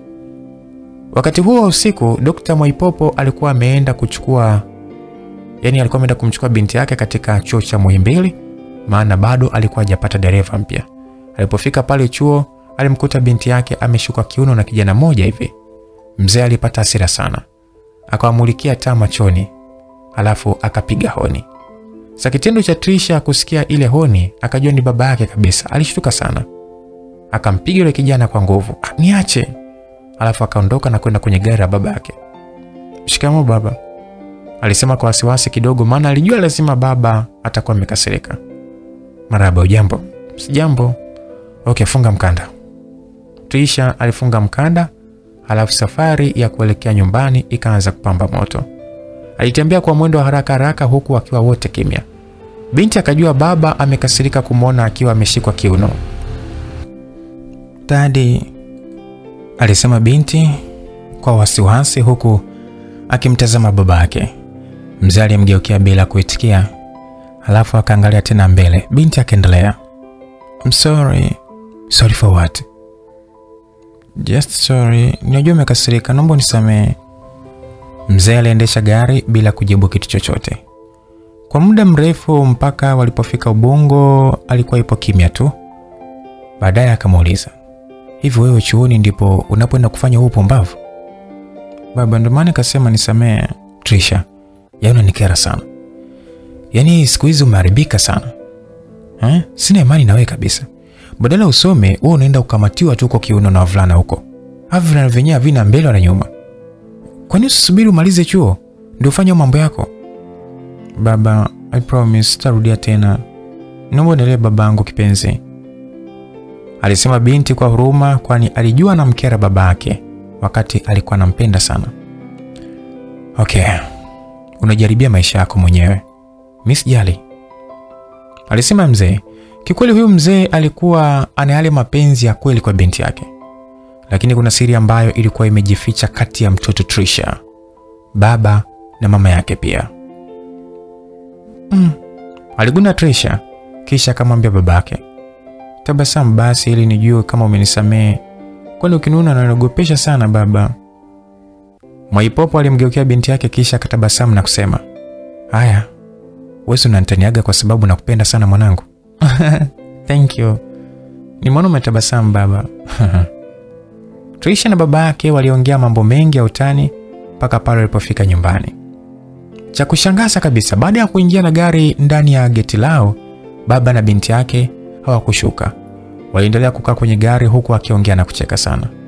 Hii hali ilizidi kumfanya mama Trisha apate wasiwasi mkubwa juu ya mumewe na binti yake. Alikasirika na kujikuta anakosa furaha kabisa. Alisimama katikati ya chumba chake, akawa anaangalia kupitia dirishani, akawa anaona jinsi wanavyoongea na kucheka ndani ya gari, ndipo akajisemea moyoni, sawa, naona wameanza kunikomoa sasa. Alichukua simu yake na kumpigia simu mtu mmoja ambaye ni mwanaume. Hello Kaisi, unaendeleaje? Mama Trisha alimuuliza hivyo huyo mwanaume. Niko salama kabisa. Vipi, mbona simu usiku sana? Ah, kuna jambo hapo nataka kuongea nawe, ni gumu sana. Haitawezekana, alisema Kais na kukata simu. Baada ya kukata simu, Kais alimtumia ujumbe wa Matrisha na kumwambia niko na familia, naomba tuongee kesho mchana. Matrisha alifuta ile meseji wala hakutaka kujibu. Aliendelea kutazama gari ya mumewe iliyokuwa nje mpaka pale mumewe na bintie waliposhuka na kuingia ndani huku akicheka kwa furaha sana. Patricia aliingia chumbani akamkuta mkewe akiwa amesimama pale katikati. Pole na majukumu mume wangu. Asante mke wangu, vipi umeshindaje? Na salama tu. Vipi, mbona mlikaa kwenye gari muda mrefu bila kushuka? Ah, niliamua tu kupiga hadithi mbili tatu na binti yangu. Kuna tatizo? Ah, hamna tatizo. Okay. Trisha alipofika chumbani alivua nguo, akaingia bafuni akaoga na kurudi ndani, akavaa nguo nzuri tu na kwenda kula chakula. Muda wote mama yake alikuwa akimtazama kwa jicho la husda. Roho ilikuwa inamuuma sana. Alihisi wanashirikiana tunda la mumewe na Trisha. Chakula cha usiku kiliisha, binti akaenda zake kulala. Yeye hakuwa na wasiwasi kwamba mama yake anamfikiria vile. Alipofika alikuta message kwa simu yake, akaifungua na kusoma. Ilikuwa imetoka kwa Maulidi. Mambo poa, mzima we? Mzima vipi we? Mi mzima sana. Vipi, umeshafika? Ndio, nimeshafika. Alafu ah, nimechoka sana, alafu kuna baridi hatari. Kwani uko wapi? Ah, niko Njombe. He? Huko ni hatari. Pole sana. Kama hauna ndoa, hey, nakulumia sana kakaangu. Kwa huko bora hata ungekuwa una ndoa, utateseka sana. Kwa hiyo ni oe eti? Ya, oa tu. Sawa bwana, ila Trisha nitakumisi sana. Usinimisi bwana. Trisha, mi nakupenda mwenzako, naomba basi unihurumie. Mm, usigune basi, niambie kama unanipenda au la. We Maulidi we, sasa nishakwambia kwamba mi na mtu jamani. Ah, kwa nini waliniwahi? Lakini unajua mimi nimekupenda muda na nimeshindwa kabisa kukwambia. alafu sasa hivi nimepata chansi ya kuwa karibu na wewe, lakini unanikatele. Naomba basi unifikirie please, Trisha, nakuomba. Au kisa sina maisha mazuri kama ya kwako? Mm, no, mimi sijasema hivyo, ila wewe bwana unataka mapenzi tu, tuwe marafiki tu bwana. Nifikirie basi, alafu tanijibu. Sasa ni kujibu nini wakati nishakujibu jamani? Yaani wewe mwanaume, mbona uelewi? Sawa bwana, hamna shida. Basi poa. Trisha alimkatili huyu mwamba si mchezo. Ni kweli Maulidi alikuwa anampenda kweli kweli. Yaani alipomkatalia hivi mwamba nilikasirika na kujikuta anasonya na kufuta namba za binti kwenye simu yake kabisa. Ah, anaringa wala hata sio mzuri. Ngoja nitafute tu hela. Alijisemea mwamba huku akifuta jumbe na history ya kumpigia binti kwenye simu yake. Wallahi sitomtafuta tena, alisema mwamba kwa hasira. Basi kesho yake siku ya Jumanne saa tisa alasiri ndipo Matrisha alikuwa anataka kuondoka shuleni, kwani alikuwa ni mwalimu.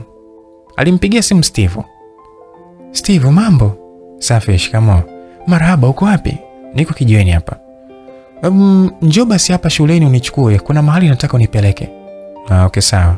Please, naomba uwai, natakiwa kurudi kabla ya saa kumi na mbili. Poa, kwani ni mbali sana? Ndiyo, ni mbali. Okay, dakika tano tu niko hapo. Basi sawa. Matricia alikata simu kisha alikusanya vitu vyake ili kujiandaa na safari ya kuelekea huko alikokuwa anataka kupelekwa.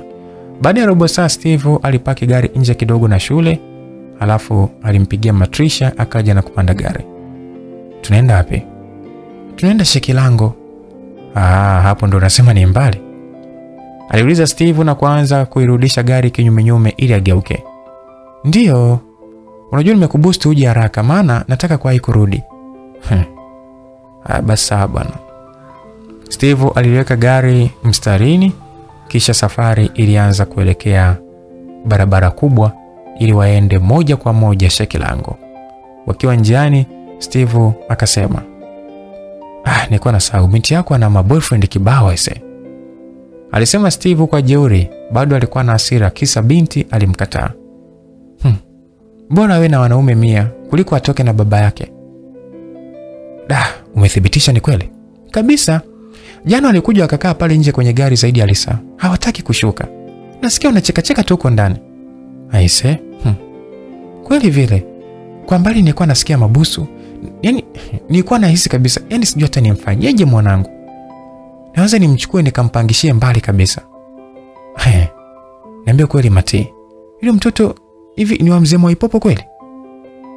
Matrisha alimtazama Steve kisha akampachika swali. Kwa nini umeuliza hivyo? Ah, unajua kwa sababu najua mtu anayejielewa hawezi kutembea na binti yake. Mama Trisha alimtazama Steve bila kujibu swali lake hadi safari ikaishia Shekilango. Nisubiri hapa nakaa nusu saa pekee. Basi poa.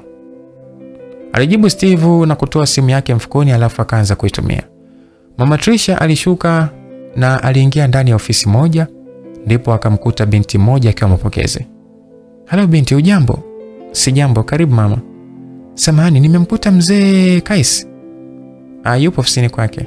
Sawa, ngoja niongee naye. Pita, hamna shida. Kumbe katika ofisi hii ndipo alipokuwa akifanya kazi yule mwanaume ambaye mama Trisha alikuwa amempigia simu jana yake usiku, akamwambia hawezi kuongea naye kwani alikuwa na familia. Mama Trisha aliingia ofisini na yule mwanaume alipomwona alishtuka sana. We Grace, kuna nini tena? Mbona saizi ofisini? Naona kwenye simu hatuelewani. Hutaki kuongea na mimi kabisa. Sasa ndo nifuate hadi ofisini. Sasa mimi nifanyeje jamani? Sina amani katika ndoa yangu. Naumia, nateseka. Yote ni kwa sababu yako. Sababu yangu kivipi? Hivyo nahisi kwamba mimi naweza kukutesa? Ha? Unahisi mimi nisinge kutesa? Si nikwambia tuoane ukanikataa? Kisa sikuwa na pesa wala sikusoma. Uliniambia utamwambia mume wangu kwamba Trisha ni binti yako. Sasa naona umemwambia kabisa. He, nikamwambia kwamba sio mtoto wake. Mimi? Una wazimu nini? We Grace vipi? Hmm. Naomba unisikie Kais. Sina wazimu. Mume wangu anatembea na Trisha. Wewe unahisi nini? Itakuwa amejua kuwa yule sio mtoto wake. Kwa nini ulimwambia? He, wewe, mimi sijamwambia chochote kuhusiana na Trisha mimi. Naomba unielewe kabisa. Kwanza mimi naanzaje kumpiga hizo story yani siji nikutane naye nianze kuongea naye kuhusu hizo story. Labda wewe ndio utakuwa umemwambia. Mimi sijasema. Hebu ni Kabla Matrisha hajamaliza kuongea sentensi ile, simu yake ilita. Alipotazama aligundua ni Steve anampigia. Akaipuzia na kutoa sauti, akaendelea kuongea. Niambie mtu nafanyaje? Mimi sitaki atembee na binti yangu hata kama sio mwanaye. Wewe, mi nishakwambia. Mweke binti yako wazi ili awe makini na Mwaipopo. Hujui kwamba Mwaipopo ni daktari? Eh? Inawezekana alishapima vinasaba vya, vya damu na kugundua hili. Alisema mtaalamu huyo Kaisi. Mama Trisha hili lilimwingilia akilini. Ghafla simu ikaita tena. Ni Steve. Akaikatilia mbali. Baada ya kuikata, Steve akamtumia ujumbe. Kaa makini, mume wako yuko hapa nje. Mama Trisha kuiona ile message alishtuka sana hadi akainuka kwenye kiti. Vipi? Mume wangu yuko nje ofisi yako. Usipaniki. Ngoja nikamwone huko huko. Alisema Kais huku akiinuka. Ila kabla hajatoka, mlango ulifunguliwa na alizama ndani mzee Mwaipopo. Akashtuka sana kumkuta mke wake pale ndani. Msikilizaji, kumbuka naye kusimulia simulizi hii ni mimi Lucas Lumbas kutoka hapa Simulizi Max. Kwa WhatsApp namba unaweza kunipata kupitia namba 0710 20 8145. Hiyo ndiyo namba yangu ya WhatsApp. Unaweza ukanicheki tukawa pamoja kwenye grupu la WhatsApp.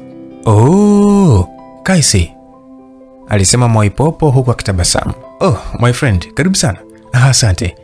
Kumbe Matrisha huko hapa? Ndiyo, niko hapa. Matrisha alimjibu hivyo Mwaipopo huku akijichekesha chekesha tu. Okay, ngoja niwaache malizia kuongea, alisema Mwaipopo na kurudi akaubamiza mlango na kutoka nje. No, tusham.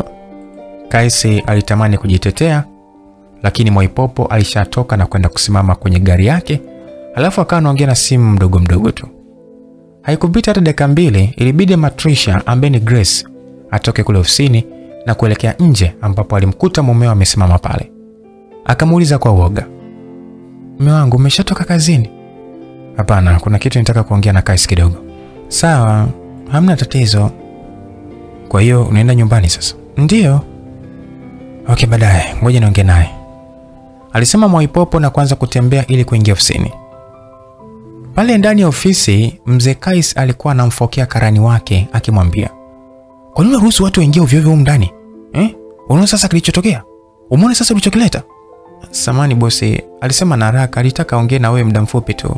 Da, alisema akageuka nyuma na kumkuta Mwaipopo anaingia. Mwaipopo alipofika alimshika mkono. Rafiki yangu, njoo tuongee kidogo, alisema na kuingia naye ofisini kwake. Upande wa pili kwenye gari, mama alikuwa na Steve anaongea. Duh, jamani, nimedhalilika leo, Sio hata nichukuliaje mume wangu kweli. Da, umezingua. Mimi nakupigia simu unakaa kimya tu, unakaa kindezindezi, hata upokee simu. Ah, sikujua kama unataka kusema nini eti. Hmm. Pole, utajua namna ya kumdanganya danganya. Kwani uko ulienda kufanya nini? Ah, nikwambie tu kweli, huyo ndo baba yake Trisha. Eh? Ndio kweli huo. Steve aliupiga usukani kwa mikono yake miwili halafu akacheka. Nilijua tu. Yaani nilijua kwamba huyo sio babake. Ndio maana nilikuwa na wasiwasi toka muda ule. Baadaye walifika nyumbani. Sasa usiku wa saa tano hivi Steve airejea nyumbani mapema siku ile, akawa anaangalia zake TV chumbani kwake. Akiwa anaitazama, alikumbuka kuna picha aliyokuwa ameiopoa siku moja iliyopita katika gari yake. Akaamua kufungua diary na kuitoa, halafu akaitazama. Steve alipoitazama alitabasamu, halafu akaamua kuipiga picha kwa kutumia simu yake. Yaani, baada ya kuipiga tu aliingia WhatsApp na kumtumia Trisha ile picha. Trisha ambaye alikuwa akijisomea alifungua ile picha.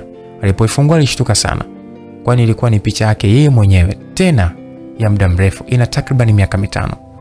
Ilikuwa ni picha aliyokuwa ameipiga wakati anasoma shule ya sekondari huko Iringa. He, kaipata wapi huyo mtu? Alijiuliza huku akizidi kuishangaa. Ilikuwa ni picha yake ya muda uliopita, ilimkumbusha mbali sana. Sasa hii ilimfanya akumbuke mbali. Anakumbuka hii picha alipigwa kipindi akiwa kidato cha tano, na alipigwa na kijana mmoja aliyekuwa akifahamika kwa jina la Bobu. Alikuwa rafiki yake sana Maulidi. Wewe umeipata wapi hii picha?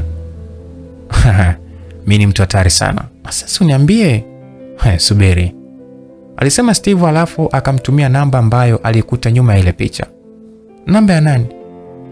Hii picha nilikuta kwenye gari yangu, kwa nyuma imeandikwa namba hiyo, sijui kama unaifahamu.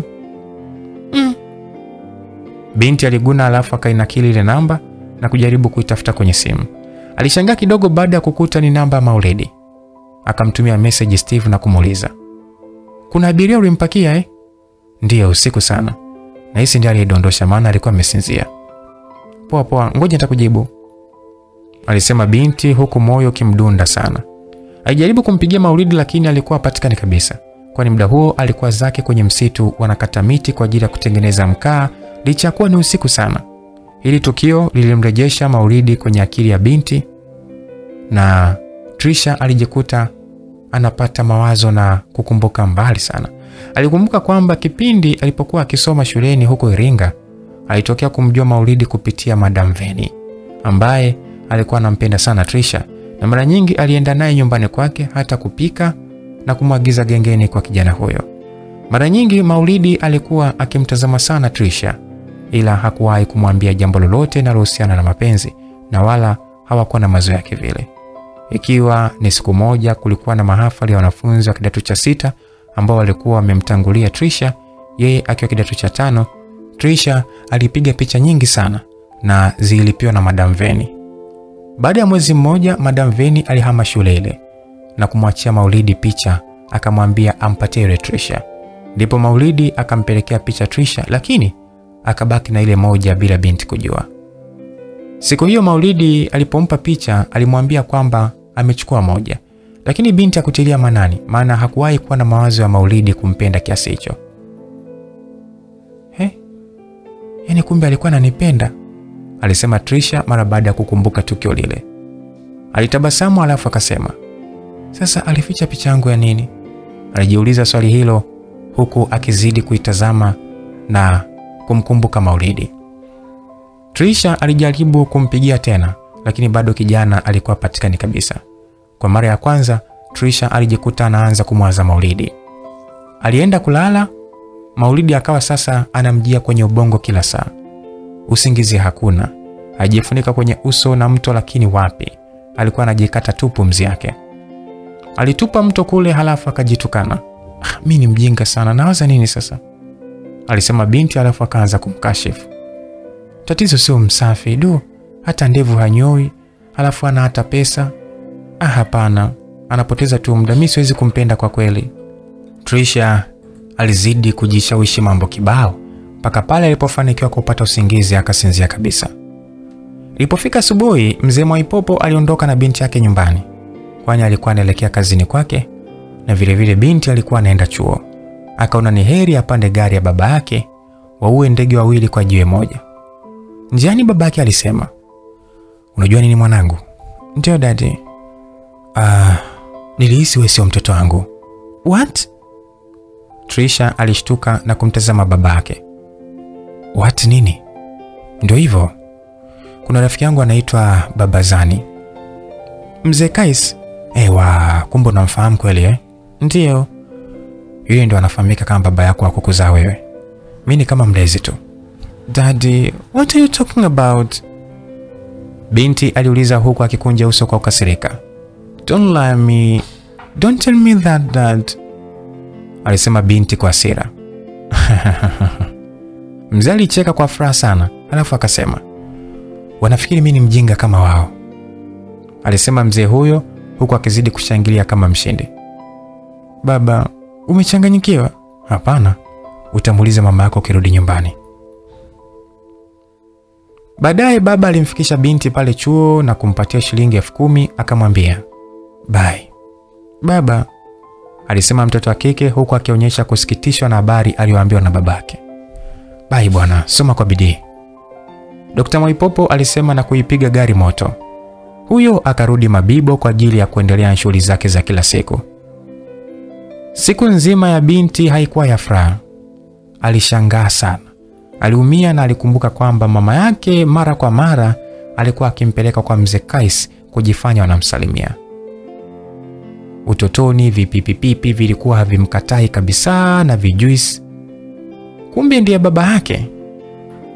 Alishikwa na hasira na kuamua kumfata kiongozi wa darasa, akamwambia, Sierra, naomba niende nyumbani, sijisikii poa. Basi poa. Kiongozi akukaza, Trisha aliondoka hata kutaka kusubiri aje achukuliwe na baba yake. Alipanda daladala siku ile, akarudi zake nyumbani mchana kabisa saa saba. Alipofika nyumbani hakuwepo mama yake kwa sababu alikuwa bado yuko shuleni. Alimsubiri kwa hamu anataka kuambiwa ukweli siku ile. Wakati huo sasa, kule Njombe, Maulidi alikuwa ameenda sehemu kwa ajili ya kula. Hapo ndipo simu yake ilipata mtandao na hata kupatikana. Jumbe za mfululizo ziliingia kwenye simu yake, akaitoa kwenye mfuko wa suruali na kutazama, kuna meseji kama tisa hivi. Mbili zilikuwa za mtandaoni zikitoa ofa fulani fulani hivi kutangaza biashara, halafu zingine zilikuwa zinatoka kwa watu kadhaa. Kuna meseji moja ilikuwa inampa taarifa kwamba amepigiwa lakini hakuweza kufikiwa. Alitazama ile message, namba ni ngeni kabisa, maana alikuwa ameshafuta namba za Trisha. Alijiuliza nani sasa huyo anayetafuta, hivyo akaamua kumpigia simu. Alipompigia alimkuta katika mudi mbaya kweli kweli. Hello? Hello, mambo vipi? Safi, niambie. Ah, kumbe Trisha ulinipigia eh? Ndio, nikupigia ulikuwa upatikani. Ndio, nilikuwa sehemu mbaya kidogo. Hata sasa hivi nimetoka kuja kula tu. Nikirudi huko nitazidi kuwa mpweke. Na nilikuwa nataka nikuulize swali. Ndio, niulize. Kwani ulificha picha yangu na hukunipatia? Maulidi kusikia hivyo alishtuka na kukaa kimya. Nijibu, mbona ulificha picha yangu? Picha? Picha gani mimi Trisha? Hmm. Nimetumiwa picha hapa na nimeambua kwamba nyuma ya picha umeweka namba yako. Kwa nini lakini? Unacheka nini sasa? Unacheka na nani? Hebu nijibu basi. Kwanza hapa nimevurugwa hatari. Samani samahani Trisha. Nilipoteza kwa bahati mbaya lakini nilihifadhi kwa sababu nitamani usipotee kwenye macho yangu.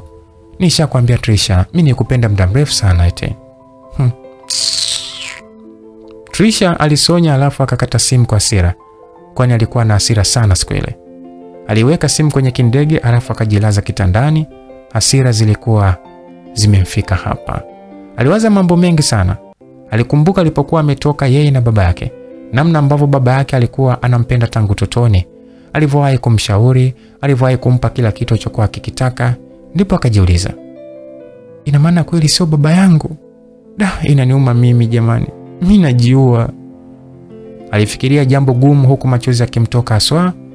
Aliendelea kujilaza huku akikumbuka jinsi mama yake amekuwa akimdanganya baba kwa muda mrefu. Kamwe binti hakujua kama mama yake anaweza kufanya kitu kama hicho. Mida ya saa kumi na moja mama yake Trisha alirejea nyumbani. Alipofika nyumbani, alimkuta dada wa kazi akiwa nje anacheza kisoswado. mshikamo mama. Marahaba, unaendeleaje? Naendelea salama. Matrisha aliingia ndani ya nyumba bila kujua kama binti yake alikuwa amerudi na amekasirika vibaya sana. Aliingia chumbani kwake, alafu akaweka begi na kurudi sebleni akiwa amebeba simu mkononi. Anet, alisema mama akiwa anamuita binti wa kazi. Mama, Carol na Province wako wapi? "Ah, Wamelala chumbani kwa Karo. Okay. Ghafla Trisha aliingia pale sebleni akiwa amekusanya mikono kifuani, alafu akamtazama mama yake. Ah, mwanangu umesharudi? Hujambo lakini? Mama, nina swali nataka nikuulize. Mm. Jamani, hata kunisalimia Trisha hamna? Umeshaanza mambo yako eh? Mbona umerudi mapema? Nina hasira mama, nisingeweza kukaa huko chuoni mimi. Hasira gani tena mwanangu? Mama alimshika binti begani alafu akamvuta na kusogea naye wakaketi kwenye sofa. Binti alitaka kulia, lakini macho yalionekana yamejaa machozi. Alikuwa akiumia sana. Mwanangu, nini tena? Mbona sikuelewi? Mama, naomba uniambie ukweli. Ukweli gani sasa? Mi ni mtoto wa nani? Eti baba yangu ni nani? Eh? Eh, mwanangu, kivipi? Mbona nichanganya? Mama, niambie mama, mi nataka kumjua baba yangu. Najua huyu nayeishi naye sio baba yangu. Mama alishtuka na kumtazama binti yake, akajua siri imeshafichuka tayari. Haraka haraka alihisi Steve ndiye aliyetoboa siri. Kwa nini nikakwambia? Mama, naomba niambie kwanza, baba yangu ni mzee Kais au? Mama alitabasamu alafu akamuuliza, kwani baba yako alishawahi kukufanyia kitu chochote kibaya? Masuala ya baba kunifanyia kitu kibaya sitaki kujua. Mimi nachotaka kujua baba yangu mzazi ni mzee Kais au ni Mwaipopo? Mwanangu, samani sana, mama alisema na kuvuta pumzi kidogo, kisha akasema, ni kweli mzee Kaisi ndiye baba yako halisi, ila naomba tafadhali usikasirike. Mi niko hapa kwa kuwa baba yako alikuwa na maisha mazuri, na mi mwenyewe nilitaka mwanaume wa dini yangu. Machozi alianza kumtoka Trisha, akainuka na kumtazama mama yake kwa hasira, alafu akasonya bila kujali. Binti alipiga hatua chache, kisha akauliza bila kumgeukia, kwa hiyo bado namsaliti baba na mzee Hashim Kaisi, si ndio? Hapana mwanangu, kweli kabisa, na hapa mbele ya Mungu, tangu aliponioa baba yako sijawahi kumsaliti. Bila binti kuongea chochote, aliondoka moja kwa moja na kuingia chumbani kwake, huku macho akiwa mekundu sana. Trisha alijirusha kitandani na aliwaza mambo mengi sana. Akiwa anawaza pale, alipata ujumbe kutoka kwa Maulidi. Ulikuwa unasema hivi: najua leo hauko poa. kama nimekukwaza mimi naomba unisamehe, lakini kama kakukwaza mtu mwingine naomba urelax, usinikasirikia hadi mimi. Mimi na uwezo wa kuishi na wewe tena, hautuamini. Nitakutunza kuliko kitu chochote, nitakuthamini sana Trisha, bado uko moyoni mwangu. Naomba uwe na jioni njema. Basi Trisha aliposoma ule ujumbe kidogo ulimtia moyo, akajikuta amejibu, unanipendea nini? Alimuuliza, lakini ile message haikupokelewa kwani tayari Rashidi alikuwa amesharudi kibaruani kabisa. Upande huo huo, mama Rashidi alikuwa anamfokea Steve kwenye simu akijua ndiye aliyemwambia Trisha kwamba babake ni Kais. Hivi mwanaume gani unakuwa mbea mbea kama mwanamke? Mimi nilikwambia kwamba Kais ni baba wa Trisha. Sasa wewe umeenda kumwambia Trisha kwa nini sasa? aliuliza mama huyo kwa hasira sana. Muda huo huo, mama akiwa anawaza pale ndani, mumewe alimpigia simu na kumuuliza, vipi, Trisha yuko nyumbani? Ndiyo, amekuja mme wangu. Sawa, nakuja. Moyo wa mama Trisha ulimwenda mbio, alihisi ameshashtukiwa, kwani alikuwa akiitunza ile siri kwa muda mrefu sana. Aliogopa, na kitu kilichomshangaza zaidi mama Trisha ni kwamba hata baada ya mumewe kumkuta akiwa ofisini mwa Kais bado hakuwahi hata kumuuliza chochote kuhusiana na hilo. Alijiuliza sana, kwa nini, kwa nini akae kimya? Basi baadaye baba alirudi na walipata chakula cha usiku na kwenda kulala. Wakiwa chumbani, mama alianza kujipendekeza kwa kuomba msamaha. Mume wangu, hivi siku ile uliponikuta na Kais ulinihisi vipi? Kivipi? Mi nilihisi mnataka kufanya biashara zenu. Sawa, nilijua labda utanihisi vibaya mme wangu. Hapana, siwezi nikakuhisi hivyo. Mi nakuamini mke wangu, naamini hujawahi kunisaliti. Nimeishi na wewe miaka 24 sasa, sijawahi kukuhisi vibaya. Hujawahi kunionyesha usaliti wa aina yoyote. Ni kweli, sijawahi kukusaliti mme wangu. Haya, tulale sasa. Mzee alimkumbatia mkewe, wakaanza kutafuta usingizi. Alikuwa hana kinyongo kabisa na mkewe. Usingizi kwa Trisha ulikuwa watabu sana. Alikuwa akiwaza mambo mengi sana. Aliteseka sana usiku ule. Aliwaza na kujisemea moyoni, sitoweza kumwona tena baba akinihudumia. Nataka kuondoka nikapange huko mbali. Haya ni zaidi ya maumivu. Sikujua kama mama ni msaliti kiasi hiki, alisema binti akiwa chumbani peke yake. Sasa baada ya siku tano, Maulidi na wenzake waliingia katika jiji la Dar es Salaam. Walikuwa wamepata tenda ya kuleta magunia mia ya mkaa. Ilikuwa ni Jumapili asubuhi. Trisha aliita mama. Mama, hivi vipi umeamkaje? Salama. Leo huendi kanisani mwanangu? Mama, siende. Kwa nini sasa? Basi tu mama, mimi sitaki kwenda, alijibu kwa jeuri. Kwa kuwa mama alikuwa anajua kosa lake, aliamua kumwacha binti na kuondoka pamoja na mume wake. Wakiwa kwenye gari, baba aliuliza, kwa nini mtoto ameamua kuwa na jeuri hivi? Ah, sifahamu kwa kweli. Haya bwana. Mzee alijua kisa na mkasa, ila akatulia tu kimya. Upande wa binti alikuwa na stress, hakutaka kuwa karibu na wazazi wake. Alipokea simu kutoka kwa Maulidi. Mambo te. Safi, mambo vipi? Poa, nilijua utakuwa ibadani muda huo. Niko tu nyumbani, sijisikii kwenda. Kwa nini sasa? Kwa sababu na stress zangu tu. Una stress gani? Vipi, tunaweza kuonana?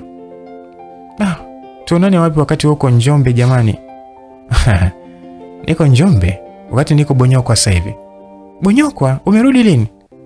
Ah, nimefika usiku wa kuamkia leo. Mm. Sidhani kama tunaweza kuonana. Naomba please. Maana nimekuletea zawadi. Mhm, eti zawadi? Ndiyo, njoo basi. Wapi? Kimara, ninakuja tuonane. Mm, sasa hivi? Ndiyo, ningefurahi zaidi. Ngoja nitakwambia. Please usiache kuja. Nitakujibu sio muda. Okay. Maulidi alikata simu yake. Ilikuwa ni kama utani, lakini siku ile ilikuwa ni rahisi sana kuonana na binti kwa sababu alikuwa katika stress zake za kutosha. Alijikuta atamani kukaa pale nyumbani kwao kabisa. Licha ya kwamba Maulidi hakuwa na zawadi kweli, binti alijiandaa na kuondoka nyumbani akipaacha bila mtu, maana siku hiyo alikuwepo peke yake. Ndio natoka nyumbani, binti alimtumia ujumbe Maulidi, na Maulidi alijisikia moyo kushtuka. alikuwa na hisia kali sana kwa mtoto wa kike. Alipanda pikipiki akaelekea Kimara, ndipo alipokutana. Bado binti alimwona Maulidi ni kijana mmoja rafurafu sana. Alipomwangalia alijisikia vibaya, hakuwa wa hadhi yake kwa kweli, ila atafanyaje sasa? Alimsalimu. Mambo, alisema Maulidi huku akiwa na tabasamu. Poa, binti alisema na kutazama pembeni, alafu akamrudia na kumtazama kuanzia chini kwenye viatu hadi juu kwenye nywele. Mbona nikagua sana? Ah, hamna, tunaenda wapi? aliuliza binti. Um, mi hata sipajui huku, twende hivi, Maulidi aliongea huku akianza kutembea. Binti alimfata safari ya kuelekea sehemu moja hivi. Kulikuwa na fremu ambayo wanauzauza vinywaji pale. Tukae hapa au? Hapana, mi siwezi kukaa baa. Ah, sasa twende wapi? Twende kule mbele kuonyesha sehemu nzuri ambayo nakujaga mi na boyfriend wangu, alisema huku akinyoosha mkono mbele. Haya maneno alimuuma Maulidi, akamtazama kwa wasiwasi, kisha wakaanza kutembea. Walipofika mbele, Maulidi alimuuliza, ina maana kweli una boyfriend Trisha? Trisha alitabasamu alafu akampachika swali, kwa hiyo uniamini kabisa jamani au? Ah, naumia sana but sawa, haina shida. Walizidi kutembea, ndipo walikutana na machinga mmoja akitembeza vitu mbalimbali vikiwemo vya urembo urembo vya watoto wa kike na cheni za kiume.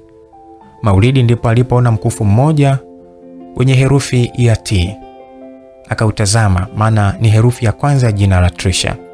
Ndipo akamsimamisha muuzaji. Vipi kijana? Safi bro, kwema? Kwema.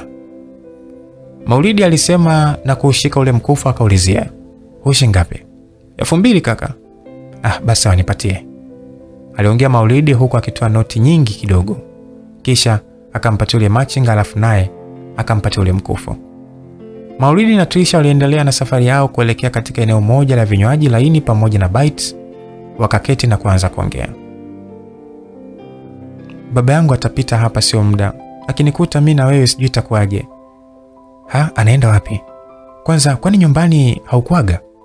Ndiyo, mimi sikuaga, wao walikuwa kanisani nataka tuongee kidogo tu, mimi niondoke, alisema binti. Mara mhudumu akafika pale. Karibuni. Maulidi alimgeukia mtoto wa kike kisha akamuuliza, vipi, unakunywa nini? Ah, mimi nipe maji ya Kilimanjaro. Nawe kakaangu, nipe maji pia. Mm, mpaka uniige, aliongea Trisha huku akichekacheka kwa utani.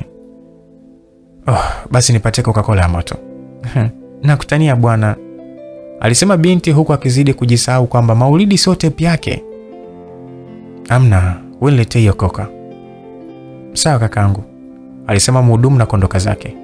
Maulidi alimtazama Trisha kwa muda mrefu, kisha akawaza kichwani, yaani huyu akinikubalia lazima nivunje msimamo wangu. Aliwaza hivi kwa sababu katika maisha yake alishawahi kuapa kutokuoa kabisa, kwa sababu alishashuhudia jinsi ndoa ilivyowatesa ndugu zake. Mbona niangalia hivyo? na kuona hauna furaha, ila mi na furaha sana nilivyo karibu nawe.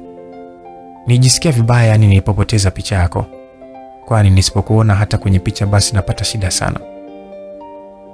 Trisha alibaki akimshangaa yule mwanaume machoni, alafu akaanza kushuka taratibu na kumtazama shavuni. Ndevu zilizo ndefu zimemshuka zikijaa kidevuni na mashavuni,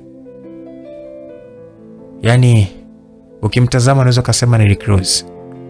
Binti mdogo mdogo akaanza kujisemea kichwani, mm, mwanaume mwenye ndevu hivi ndio gentleman. Alikuwa ameshaanza kumwazia mambo mazuri, ila ghafla aliachana mawazo yake, alafu akasema hapana.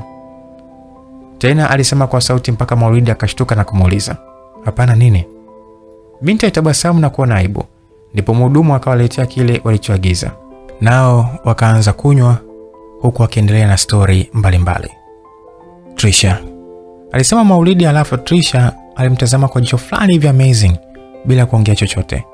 Ndipo Maulidi akaendelea kuongea, ulipokuja hapo umenipa nafasi special sana.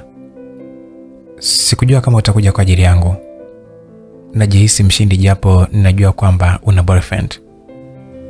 Trisha alizidi kumtazama alafu akampachika swali. Niambie kwanza, wewe na Steve mlifahamiana wapi mpaka ukampa picha yangu? Steve, Steve gani?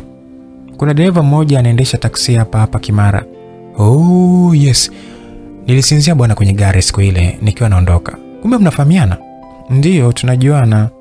Alikuwa dereva wangu akunipeleka kunipeleka chuo, ila sasa hivi sitaki tena aniendeshe, maana ananitaka kimapenzi. Oh, pole sana. Kwa hiyo kumbe ndio tabia yako kuwakataa wanaume? Hapana Maulidi, unajua mimi siwezi kukubali tu kila mtu. Wengine vijana wana wanawake kibao tu. Sasa mimi nimpende wa nini sasa? Sasa mbona mimi sina mwanamke lakini wewe unipendi kabisa? Ha? Ah. Wewe sio kwamba eti nimeukataa. Ah, Namaanisha kwamba sio kwamba eh, yaani ah, mimi sikujui vizuri wewe kaka. Ina maana hata bado hujaniamini tu. Eh? Natamani nipendwe na wewe. Ukikuta mimi ni kinyume na mwanaume unayemtaka basi utaniacha tu. Mm. Anyway, basi shika hiyo vae, alisema Mauridi huku akimpa ule mkufu ambao yeye alikuwa ameununua wenye herufi T. Mm, ulinunulia mimi? Ndiyo. Na ukiuvaa hivi natamani unikumbuke. Kama usipovaa basi usinikumbuke. Ha? Nitakuwa navaa ili nikumbuke na midevu yako hiyo. Alisema hivyo huku akagua mkufu ule, halafu akasema, kwa nini sasa usipunguze hizo ndevu zako zikae sawa? Aliuliza binti, yani ashaanza kumletea masharti fulani hivi. Oh, alisema Maulidi na kushika ndevu. Vipi, zinaokera eh? Hapana, ila I think ukizipunguza utakuwa mzuri zaidi, utaonekana smart. Okay, nitajitahidi kufanya hivyo leo leo. Sawa. Waliendelea kunywa, mara binti akapokea simu kutoka kwa mama yake. Hey, mama. Hey, uko wapi? Nimetoka kidogo mama. Sasa mbona hujafunga mlango? Bana, mimi nimeona sina pa kuweka ufunguo. Kwani kuna shida yote iliyotokea? Hamna. Aya, narudi muda sio mrefu. Haya, sawa. Alipokata simu binti aliweka mezani, alafu akaushika mkono wa Mauridi na kumtazama usoni. Mi naondoka bwana, si tutawasiliana? aliuliza mtoto wa kike. Sawa, ila Trisha, alisema na kuvuta pumzi kidogo, alafu akaendelea. Hivi unafikiria kama anavyofikiria mimi? Maulidi, mi nitakujibu. Utanjibu lini sasa Trisha? Nakupenda eti. Nitakujibu leo nikifika tu nyumbani, nitakupa jibu. Sawa Trisha, alisema Maulidi na kutoa wallet mfukoni, akatoa shilingi elfu kumi na kumpatia. No, wala usijali, alikataa huku akimzuia na kuinuka. Please shika Trisha, ukikataa utakuwa umenikatalia sana. Hapana, please Maulidi, mimi siwezi nikachukua hela yako mimi, afu sina haki ya kuchukua pesa yako, naomba niondoke. Trisha, unanipenda? Mm, Mao, nijibu please, nikae kwa amani. Mm, Aya, okay, okay, okay, okay, okay, nakupenda. Haya majibu alimfanya Maulidi kukaukiwa na koo na hata kushindwa kuhema kabisa. Akaketi huku akiwa ameshapagawa kabisa. Haamini kama jibu lile analipata kwa mtoto mzuri kama Trisha. Kwa heri, alisema Trisha, alafu akabeba pochi yake akatembea haraka haraka kuelekea stendi akapande pikipiki. Alimwacha katika hali mbaya mtaalamu Maulidi. Alikuwa na hisia naye zile za kweli kabisa. Ugumu wake wote ulishia pale. Alijikuta anawaza mengi, anawaza afanyeje ili aweze kupata pesa nyingi amwandalie binti maisha kitajiri. Akatabasamu akiwa kwenye mawazo. Mwishowe alikuja kurupushwa na ujumbe kwenye simu yake. Akaufungua chap, ulikuwa ni wa Trisha na ulikuwa unasema hivi: semani sana, nilikwambia vile tu ili uniache niondoke, ila bado sijakuweka moyoni Maulidi. Naomba unisamehe kwa hili, tuendelee kuwasiliana tu, huenda nikaja kupenda siku moja. Hakika hii meseji ilimfanya kijana Maulidi aipige simu yake chini kwa sira. Kila kitu kikasambaratika ise. Maulidi alikuwa na hasira zisizo na kifani. Ilikuwa ni kama vile alikuwa amechezewa mchezo hatari zaidi kwenye maisha yake. Alifoka, machozi yalimlengalenga. Hakuwa na imani tena kupendwa na binti. Alitazama simu yake iliyokuwa imevunjika vipande vipande. Kando kulikuwa na betri ambayo ilikuwa ni mpya kabisa. Hakuitumia muda mrefu. Aliwazia, halafu akaisogelea na kuokota betri. Vipi kaka, kuna tatizo? aliuliza mhudumu ambaye alifika pale. Ah, hamna, alijibu Maulidi huku akiokota laini yake ya simu kwenye sakafu pale chini. Mbona sasa umepasua simu? Maulidi aliwaza kwa muda kisha akasema, ah, inanisumbua tu, nimeona nipasue nikanunue mpya. Basi yule mhudumu aliguna tu. Maulidi aliinuka akatoa pesa na kumpatia yule demu, hata chenji ya kusubiri. Aliondoka zake na kwenda nyumbani. Alipofika Bonyokwa, aliketi nyuma ya nyumba ya mjomba wake, alafu akatoa kiberiti na bangi kwenye koti lake, ndipo akaiwasha na kuanza kuvuta taratibu ili kupunguza mawazo. Wakati huo sasa, huko upande wa Trisha alikuwa nyumbani anafokiana na mama yake. Sawa, nimeondoka, kwani nakaa hapa kuna furaha gani? aliuliza mtoto wa kike. Kwanza baba yuko wapi? Wewe hebu naomba usinifokee. Wewe ni mtoto mdogo sana Trisha, chunga kauli na ulimi wako wewe. Mi ni mama yako mzazi. Najua, lakini usinifokee tena. Na mpango wa kuondoka zangu hapa nyumbani. Kwa nini? Uende wapi kwanza? Mama alikuwa hamwezagi kabisa Trisha, alikuwa anamwogopa vibaya mno. Hata nikaolewe zangu, sitaki kuishi familia ajabu, familia isiyoeleweka. Mwanangu, ningekuzaa kwenye familia nyingine, usingekaa usome kama ulivyosoma. Hivi unafikiri Kaisi angeweza kukusomesha hivi? Kwa hiyo unamchuna mzee wa watu kwa kumdanganya, sio? Kwanza nipishe, alisema binti na kuingia chumbani kwake kwa hasira. Mama alibaki akiwaza sana. Alikuwa amezaa kichaa, roho ilimuuma sana. Baba Trisha siku ile akiwa ofisini kwake aichukua picha yake moja ya ujanani akawa anaiangalia. Hiyo picha alikuwa yeye na mkewe Matrisha na alikuwa amemwekea picha mabegani. Sasa hii ilimkumbusha kipindi alipokutana na yule mwanamke alikuwa anaitwa Grace, mtoto mmoja safi sana kwa enzi hizo, lakini alikuwa ni rafiki mkubwa wa msichana mmoja aliyekuwa anaitwa Sara. Alikuwa anampenda sana, lakini baadaye binti alitimuliwa na kwenda kuolewa na mwanaume mwingine kwa sababu nyumbani hawakutaka mtoto wao aolewe na mtu asiyempenda. Kuna siku moja katika enzi hizo, Grace ambesa ni mama yake Trisha alimfata Mwaipopo na kumuuliza, kwa hiyo Jose, hutaki kuoa tena? Grace, sina chaguo lingine tena. Mm, ndio hivyo. Sawa, lakini mi pia ungenipenda, ningekubali unioe, alisema Grace, maneno aliyofanya kijana Joseph Mwaipopo acheke sana. Sasa mbona cheka? Unanicheka au? No, sikucheki, ila najua wewe upo na Salum Kaisi. Na simpendi hata kidogo, na hata siwezi kumruhusu akanitumia kimwili. Mm, ina maana mjawahi? Mi sijawahi naye kabisa, sijawahi. Lakini sana kupenda Ah, hata kama ananipenda yeye sio wa dini yangu. Ah, hapo mwongea pointi ya msingi sana. Kuanzia siku hiyo Joseph na Grace ambao kwa sasa ni wanandoa wawili waliingia katika mahusiano. Ni kweli Grace alipokuja kuolewa na Mwaipopo alikuwa ni bikra kabisa. Kwa enzi hizo ilikuwa ni kitu vya kawaida sana. Alifurahi na aliishi naye kwa furaha. Sasa siku moja baada tu ya miezi miwili Grace alinasa mimba, ndipo Mwaipopo akamfumaga usiku kwenye giza akiwa na Kaisi wanaongea. Kweli Salum, hii mimba ni ya kwako. Sawa, sasa itakuwaje?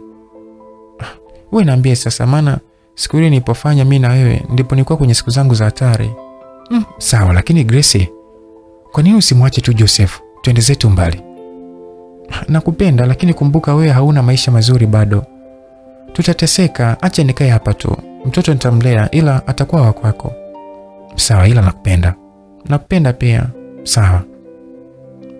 Yale maongezi yalimkera sana Joseph Mwaipopo. Aliumia.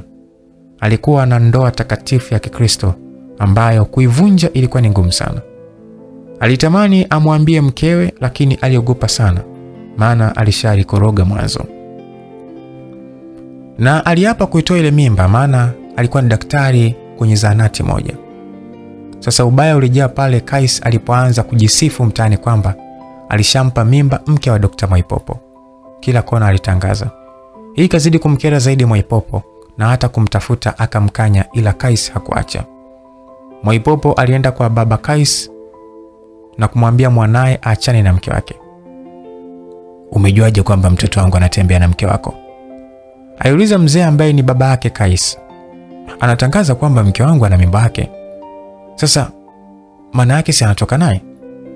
Sawa, kuhusu kuachana naye nitamwambia waachane, lakini kuhusu hiyo mimba wala usiwe na wasiwasi, alisema baba yake Salum Kais. Na Mwaipopo akauliza kwa nini unasema hivyo? Salumu hana uwezo wa kumpa mimba mwanamke eh? Ndiyo. Ah, sawa. Mwaipopo kwa enzi hizo aliondoka zake, lakini bado hakuwa na imani na maneno ya mzee yule. Tukiachana sasa na kumbukizi ya huyu mzee Mwaipopo, siku ile marafiki zake Maulidi walimpigia simu mjomba wake Maulidi na kumuuliza, Maulidi yuko wapi? Yuko hapa. Mbona hapatikani? Hebu mpatie simu mzee wangu, alisema kijana mmoja. Mjomba alimgeukia Maulidi ambaye alikuwa amejinunia na ukijumlisha na bangi sasa ajikuta ni sura imejaa kabisa. Wewe njoo, wenzako amepiga simu hapa, wanataka kuongea na wewe, alisema mjomba, lakini Maulidi alikuwa akimtazama tu bila kusikia kinachoongelewa. Yaani alikuwa amempenda sana Trisha wakati sio tepu yake kabisa. Wewe, mjomba aliongea kwa nguvu, ndio jamaa akashtuka na kusema, mimi kwani tupo ngapi hapa jamani? Hebu njoo.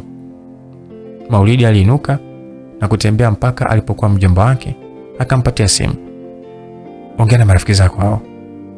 Maulidi alipokea simu na kuongea. Oya, unizingua mwanangu, mbona upatikani? aliuliza yule mtu. Da, simu nimedondosha mwanangu, ikapasuka kabisa. Naambia vipi? Ah, bwana kanue simu nyingine, acha ufala bwana. Kuna shughuli yenye mkwanja mrefu kidogo. Hakisha upo hewani saa kumi nitakucheki tukiwa tunapita Kimara hapo. Poa, haina noma. Yule kijana alikata simu, alafu Maulidi alimkabidhi simu mjomba wake, alafu akaingia ndani akiwa bado kimya sana. Maulidi aliketi kitandani, alafu akavuta begi lake na kuliweka mapajani, akalifungua na kuanza kuhesabu pesa. Kulikuwa kuna pesa nyingi kidogo. Aitoa kama laki tatu, kisha akashika tama na kuwaza muda wa dakika mbili, ndipo akaziweka mfukoni na kusimama na kwenda nje bila hata kumwaga mjomba. Aliondoka moja kwa moja na kwenda kupanda bajaji kuelekea Kimara. Alipofika Kimara, alipanda daladala akienda Kariakoo. Kule Kariakoo alizunguka kwa dakika chache, akanunua simu aina ya Infinix, kisha akarudi zake Kimara. Aliiweka chaji, halafu akaenda saluni, na huko alienda kunyoa nywele kwa dakika kadhaa na kurudi akiwa mpya kabisa. Hizi akili zilimjia mara baada tu ya kukerwa na binti. Hakuwa na malengo hayo, kwani malengo yake makubwa yalikuwa ni kutafuta chumba apange da aendelee na harakati za biashara ndogo ndogo. Muda wa jioni saa kumi na mbili, mauridi pamoja na wenzake walikuwa wamekaa mahali wakinywa mbili tatu. Ule mpango wao ulikuwa umeshabuma, ila kumbe ukinywa unakuwa kijana kabisa alisema kijana mmoja ambaye ni rafiki yao pia. Ah, acha mambo yako bwana, Maulidi aliongea huku akitabasamu, alafu akaitoa simu. Du, kwa hiyo hii simu shingapi mzee? alisema yule kijana huku akinyosha mkono na kuipokea ile simu, akawa naikagua. Ah, hiyo ghali mzee. So huna mpango tena wa kupanga?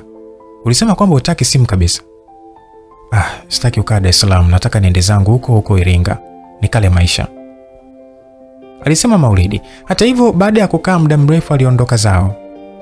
Ilikuwa sio mara yake ya kwanza kwa Maulidi kutumia simu kubwa, ila alikuwa hajatumia muda mrefu kwa sababu aliona haiendani na kazi zake alizokuwa akizifanya.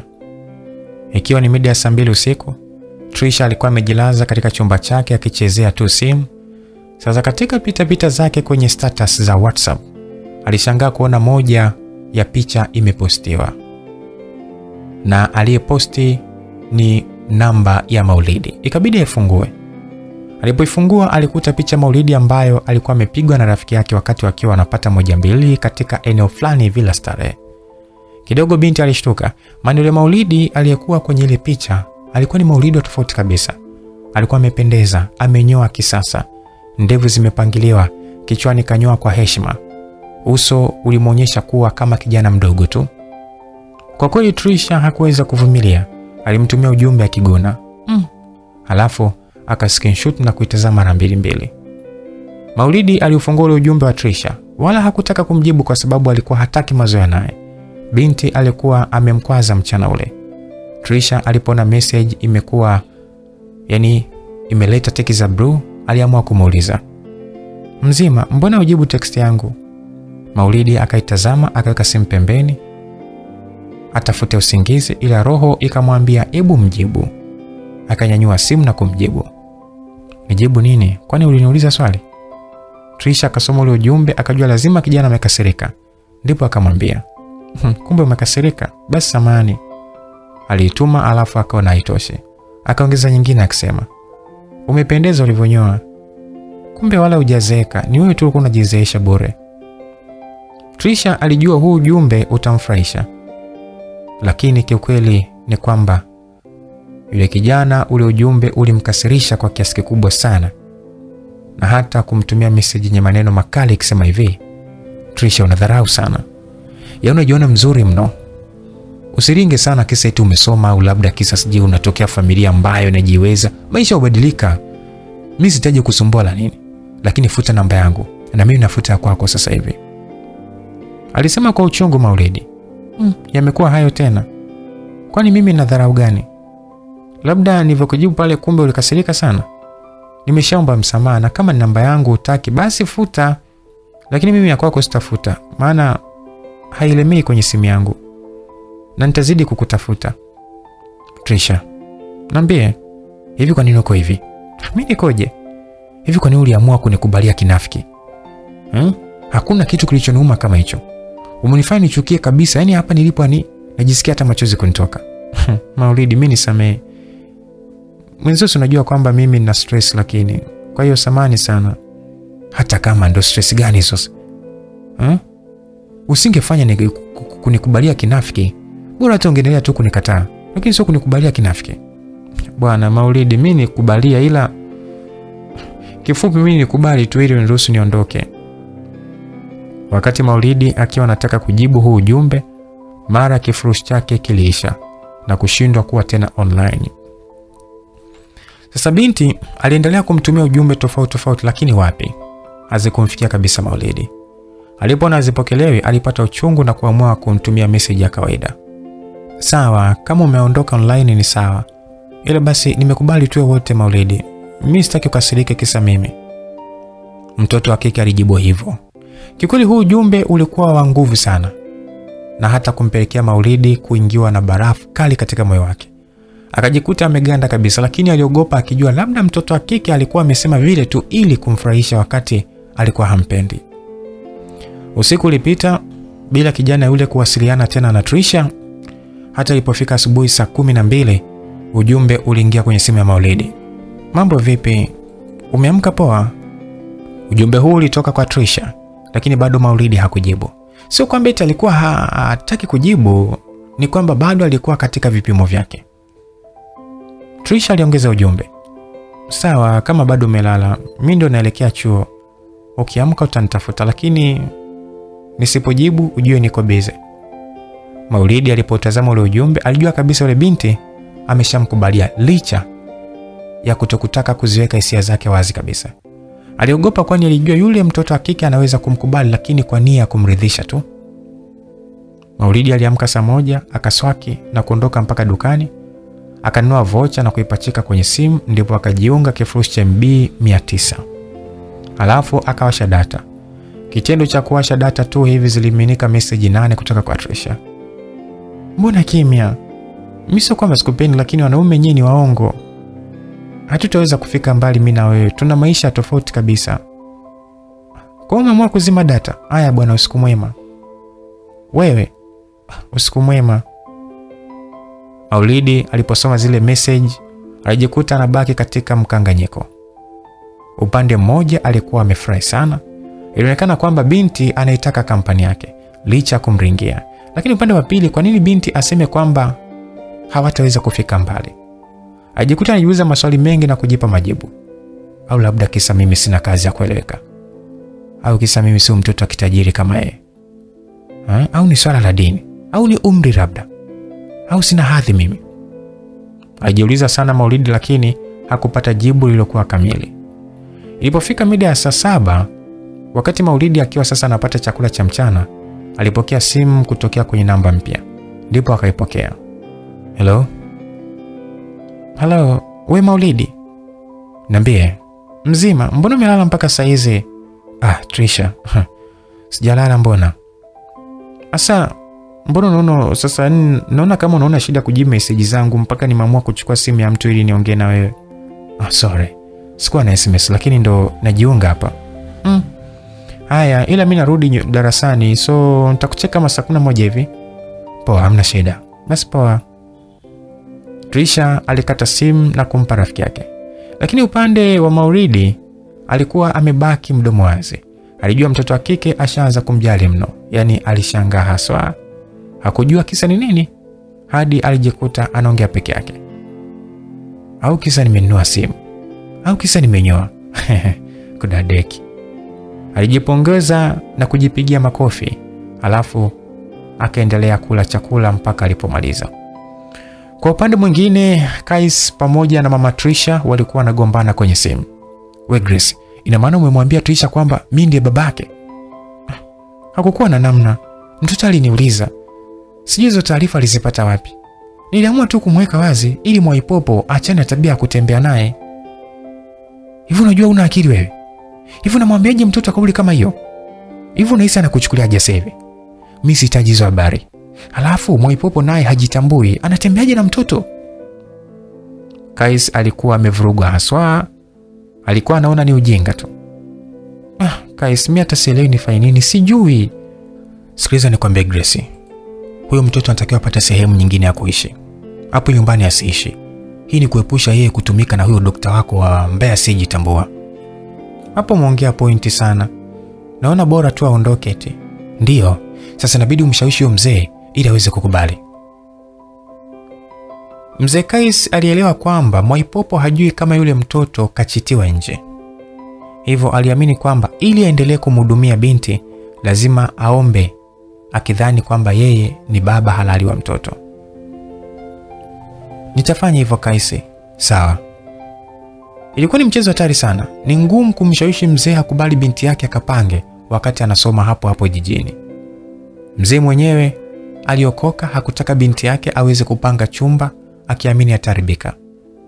Saa tisa alasiri, mzee Mwaipopo alipigiwa simu na mtu mmoja aliyekuwa amehifadhi namba yake kwa jina la Hasani TRA. Ndipo akapokea. Oh, Hasani. Eh, shikamo bro. Maraba, vipi ndugu yangu? Ah, safi kabisa. Vipi ile leseni ya binti yako imeshakamilika? Unaweza ukaja kuchukua leo maana kesho nasafiri ese. Huyu Hasani alikuwa katika kitengo cha kutoa leseni za udereva kwenye mamlaka mapato Tanzania TRA. Ah, safi sana ndugu yangu. Unaweza kaniletea hapo hospitali? Sasa hivi? Ndiyo. Ah, hapana, labda baadaye kidogo nikitoka hivi nitakwambia bosi wangu. Ah, jitahidi utapata maji. Sawa bosi. Sawa. Hasani alikata simu yake na hata baadaye mida ya saa kumi na moja alimpelekea leseni pale kazini kwake. Alipofika alimpatia mzee, akatoa shilingi elfu ishirini na akampatia kijana na kuondoka zake. Mzee Mwaipopo alikuwa na furaha sana baada ya kupokea ile leseni. Alimpigia moja kwa moja binti yake, maana ile ilikuwa leseni ya binti ambayo alikuwa ameiomba mara baada ya kuhitimu mafunzo ya kuendesha vyombo vya moto. Uko wapi binti yangu? Mzee Mwaipopo alisema mara tu baada ya binti kupokea simu. Niko chuo leo, napanda daladala au? Eh, panda daladala huko. Mzee alisema kwa utani huku akicheka. Mm. Unagula nini sasa? Ah. Mimi bwana sijazoea haya maisha. Afu nimenuna. Usinune binti yangu. Sitaki. Trisha alimdekea babake. Yaani kiukweli ilikuwa ni rahisi kuamini hawa watu wana mahusiano wa kimapenzi, maana walivyokuwa wamezoeana hey, ilileta mkanganyiko fulani hivi. Kwa hiyo bado umenunia mimi baba yako? Sawa tu, njoo nichukue bwana. Sawa, nakuja. Ah, nakusubiri. Okay. Kwa namna mzee Mwaipopo alivyokuwa akimpenda binti yake, wala hakujali. Aliamua kufunga ofisi kwa muda, kisha akatoka na kupanda gari yake ndipo akaamua kumfuata mtoto wake ili ampeleke nyumbani, kwani bado alikuwa hajampatia dereva mwingine wa kumpeleka chuo na kumrudisha nyumbani. Alifika chuoni pale na alimpigia simu kwamba ameshafika. Sawa. Mzee alikata simu alafu akawa anaitazama ile leseni ambayo alikuwa amemkatia binti yake. Baada ya dakika moja Trisha alifika pale baba yake sasa alipokuwa, na alipofika alizama moja kwa moja ndani ya gari, alafu akamtazama baba yake na kutabasamu. Nini sasa? aliuliza baba huku akitabasamu na kutoa handbrake. Usingekuja wala nisingerudi nyumbani leo. Acha mambo yako sasa, ungeenda wapi? Trisha hakujibu chochote. Alimtazama baba yake halafu akatafakari mengi sana. Jambo ambalo lilimwazisha sana ni swala zima la kuambiwa kwamba yule si baba yake wa kumzaa, ila ni baba mlezi tu. Roho ilimuuma na kujikuta anamwita baba yake huyo mlezi. Baba, alisema, ndipo mzee akamgeukia bila kuitika. Binti akaendelea kuongea. Hivi baba, usha akaogopa kumalizia sentesi, akajikolesha kidogo. Nini? Au basi. Binti alisema hivyo huku akivuta simu yake ambayo ilikuwa imeingia ujumbe. Usiogope kuniuliza chochote mwanangu, niulize tu, nitakujibu kama inavyotakiwa. Hivi baba, ushawahi kumsaliti mama na mwanamke mwingine? Mm. Usigune kwa sababu mimi nawaza, kuna mambo mengi sana hapa nawaza. Nishawahi kumsaliti na mwanamke mmoja tu, na hii naamini unaijua, alisema mzee. Ndipo binti akatabasamu na kuuliza, kwa nini sasa uliamua kumsaliti na huyo mwanamke mwingine? Kwa sababu naye alinisaliti. Hebu tuachane hayo maswali bwana, aliongea baba, halafu akatoa ile leseni na kumpatia binti yake kwa mkono wa kushoto. Hey, dadi, umeshaipata? Ya, ameletea sani Wow, thank you, aliongea binti kwa furaha huku akikagua leseni. Usijali mwanangu. Kwa hiyo sasa baba, utaniruhusu niwe naendesha gari? Ya, hapo nitakuruhusu sasa. Asante. Safari iliendelea nyumbani mpaka walipofika tu, mambo yalikuwa ni mazuri kabisa. Sasa wakati huo Steve naye alikuwa amekaa pale kimara mwisho akiwa anaongea na simu. Alikuwa anaongea na ile namba ya Maulidi ambayo alichukua nyuma ya picha ambayo Maulidi alidondosha kwenye gari la siku za nyuma ikiwa na sura ya binti. Kwa hiyo wewe uko wapi ndugu? Ah, mimi niko Bonyokwa bro. Ah, poa sasa sikiliza. Kuna siku niliokota picha ya binti moja hivi ambapo upande wa nyuma wa ile picha kulikuwa na namba hii. Ehe, ndo wewe? Uko wapi ndugu yangu? njoki mara mwisho. Unayo picha? Ipo, ila unatakiwa utoe teni. Acha mambo yako bwana. Hebu nakuja tuongee hapo vizuri. Basi poa. Maulidi kwa jinsi alivyokuwa akimpenda Trisha, wala hakutaka ile picha ikae mbali naye. Aliamua kuondoka kule alipokuwa akaenda kimara mwisho. Hata hivyo, Steve alitamani pia amjue ambaye anampa kibori Trisha, hivyo alimsubiri kwa ham licha kutokuwa na ile picha pale kijiweni. Ilikuwa ipo nyumbani. Baada ya robo saa, Maulidi alifika pale kimara mwisho na alimpigia Steve na kumwambia waonane ili ampatie picha hiyo. Steve alimwelekeza Maulidi akaenda mpaka pale alipokuwa amepaki gari na kuanza kuongea. Da, kumbe ni wewe. Hii sura sio ngeni. Nahisi kuna siku tulishaonana. Steve alisema hivyo. Ya, nilipanda hii gari usiku sana. Nafikiri nilidondosha ndani ya gari yako kaka. Kwa hiyo wewe ndo unapiga yule mtoto? Nampenda sana ila ah, anaringa kichizi mwanangu. Haya ndugu, una hiyo elfu kumi hapo? Maana nataka nikupatie picha unipatie hela. Na hapa sasa sina hiyo picha, inabidi nipatie elfu kumi ili tukaichukue. Ah, tukaichukue wapi tena? Kwani hauna hapa? Alafu sikiza master, elfu kumi nyingi bwana. Shilingi ngapi sasa? Ni elfu tano tu mwanangu, nipe hiyo picha yangu. Steve aliingia kwenye gari kisha akasema twenzetu. Alisema na Maulidi alizama ndani ya gari. Safari ikaanza kuelekea Michungwani kwa ajili ya kwenda kumpatia picha ambayo ilikuwa nyumbani kwake. Sasa wakiwa hapo njiani, walipiga stori nyingi sana kuhusiana na binti, ila Steve mara nyingi alimponda Trisha, na hii yote ilikuwa ni kwa sababu alishamkatalia penzi lake. Sasa wakati huo, kumbe Trisha naye alikuwa akipiga mazoezi ya kuendesha gari barabarani akitumia gari ya baba yake, kwani aliamini anatakiwa aive vizuri, kisa ameshapatiwa leseni ya udereva. Sasa wakati Trisha akiwa njiani, Mara gari yake iliingia sehemu moja ambayo ilikuwa na tope, ndipo akashindwa kuitoa. Alinyanyasika kwa muda mrefu sana. Mtaa huo huo ndipo ilipokuwa ikikatiza gari ya Steve akiwa pamoja na Maulidi, na kwa kuwa sasa Steve alikuwa anaifahamu vyema gari ya mzee Mwaipopo, maana ni familia ambayo alikuwa ameishi nayo karibu kwa muda mrefu sana. Oh, huyu mzee kapatwa na nini tena? alisema Steve akijua labda ni mzee Mwaipopo amekwama pale kwenye tope.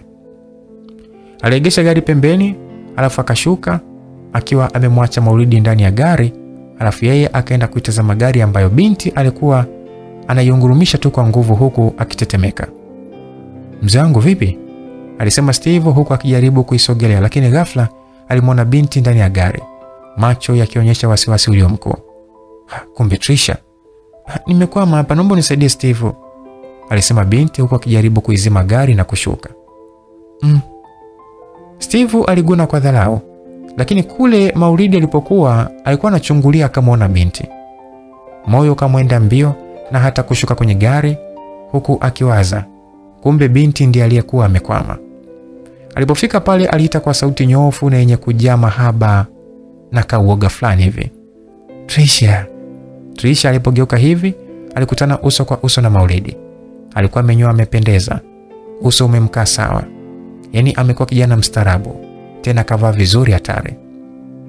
Trisha, alisema kijana huyo kwa mahaba mazito, huku akiogopa na kupata wasiwasi, maana mapenzi hmm.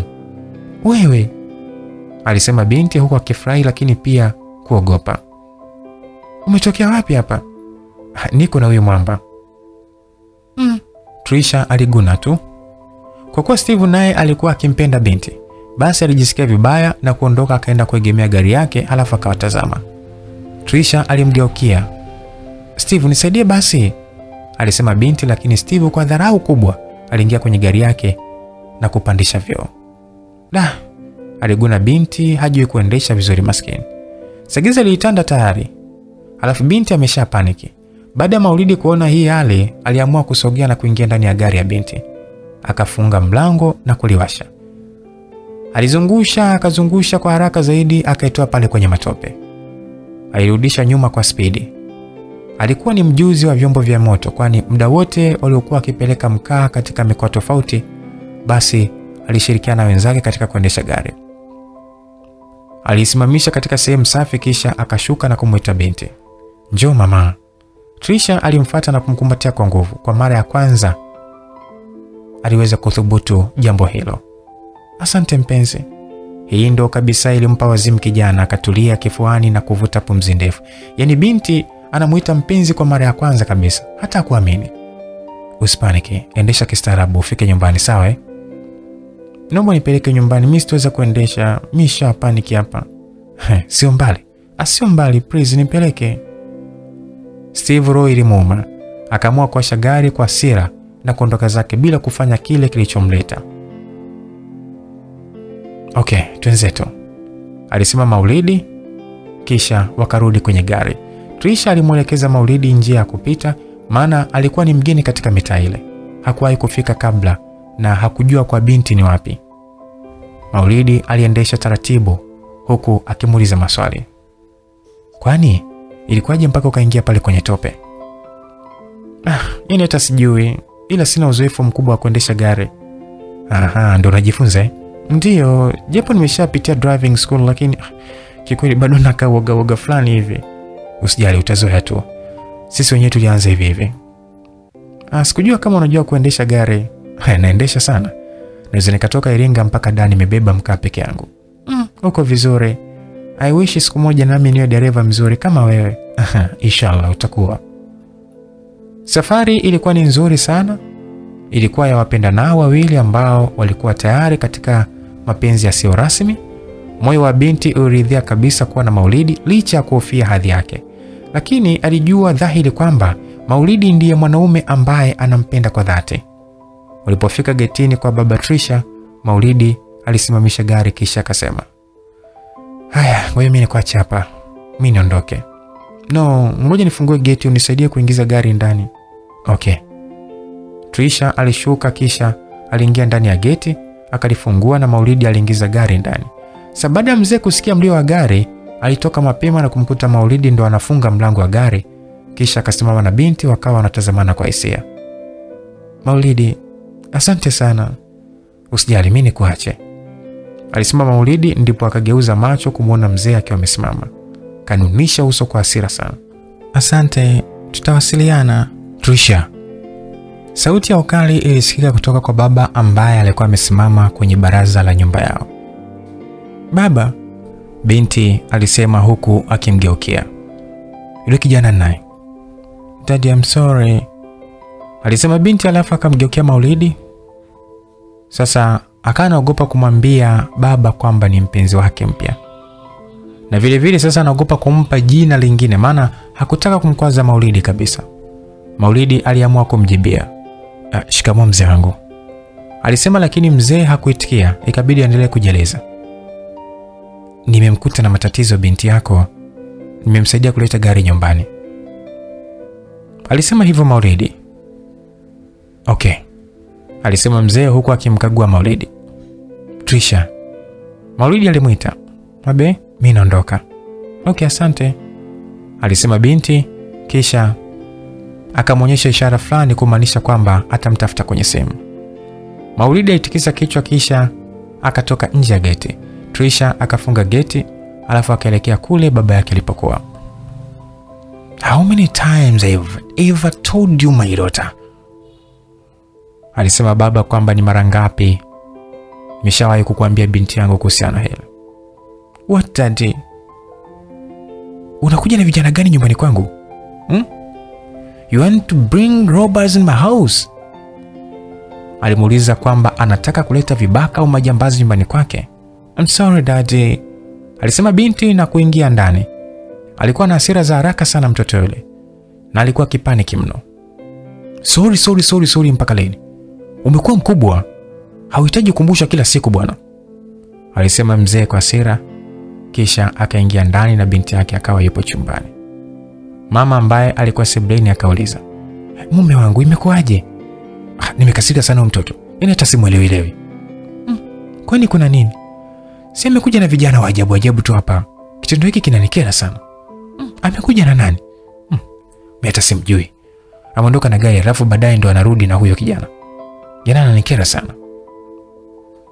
Basi usiku muda wa saa tano ujumbe uliingia kwenye simu ya Trisha. Ulikuwa umetoka kwa Maulidi na ulisema hivi: pole sana, nimesikia maongezi ya baba yako, maana nilikaa hapo nje kusikiliza. Lakini Trisha, ninafuraha sana kila nikikuona. Nafurahi pia, wala usijali kuhusu wazazi wangu, kila saa kunisema tu vipi, kwanza unafanyaje? Ah, nimelala zangu tu na kuwaza wewe. Mm, usiniwaze sana, kwani hata usiponiwaza basi mi ni wako tu kila mara. Trisha, hivi ni kweli unanipenda? Nakupenda hadi naumwa. Naomba usiniache, wewe ndio furaha yangu Maulidi. Mm, asante sana Trisha. Muda mwingi sana nitamani kuipata hii fursa ya kuchati na wewe namna hii, kwani ninakupenda sana. Unanipenda sana tu. Nakupenda pia mpenzi, lakini niache nisome basi kidogo, alafu nitakutafuta kama saa saba na nusu hivi. Mm, saa saba na nusu? Si nitakuwa nimeshalala? No, usilale bwana, kwani mume anaweza kulala kabla ya mke wake jamani. Do, kwa hiyo nikusubiri? Nisubiri mpaka saa saba. Kuna kitu nataka nikwambie. Ah, haya, nitajitahidi mpenzi. Bye. Okay, bye. Lilikuwa ni penzi jipya bwana. Najua penzi likukuu, eh, penzi ambalo limeshajizoelea maisha yake. Ukimwambia mwenzako kwamba nisubirie mpaka saa saba, hey, hey, utamtafuta mwenzako sana.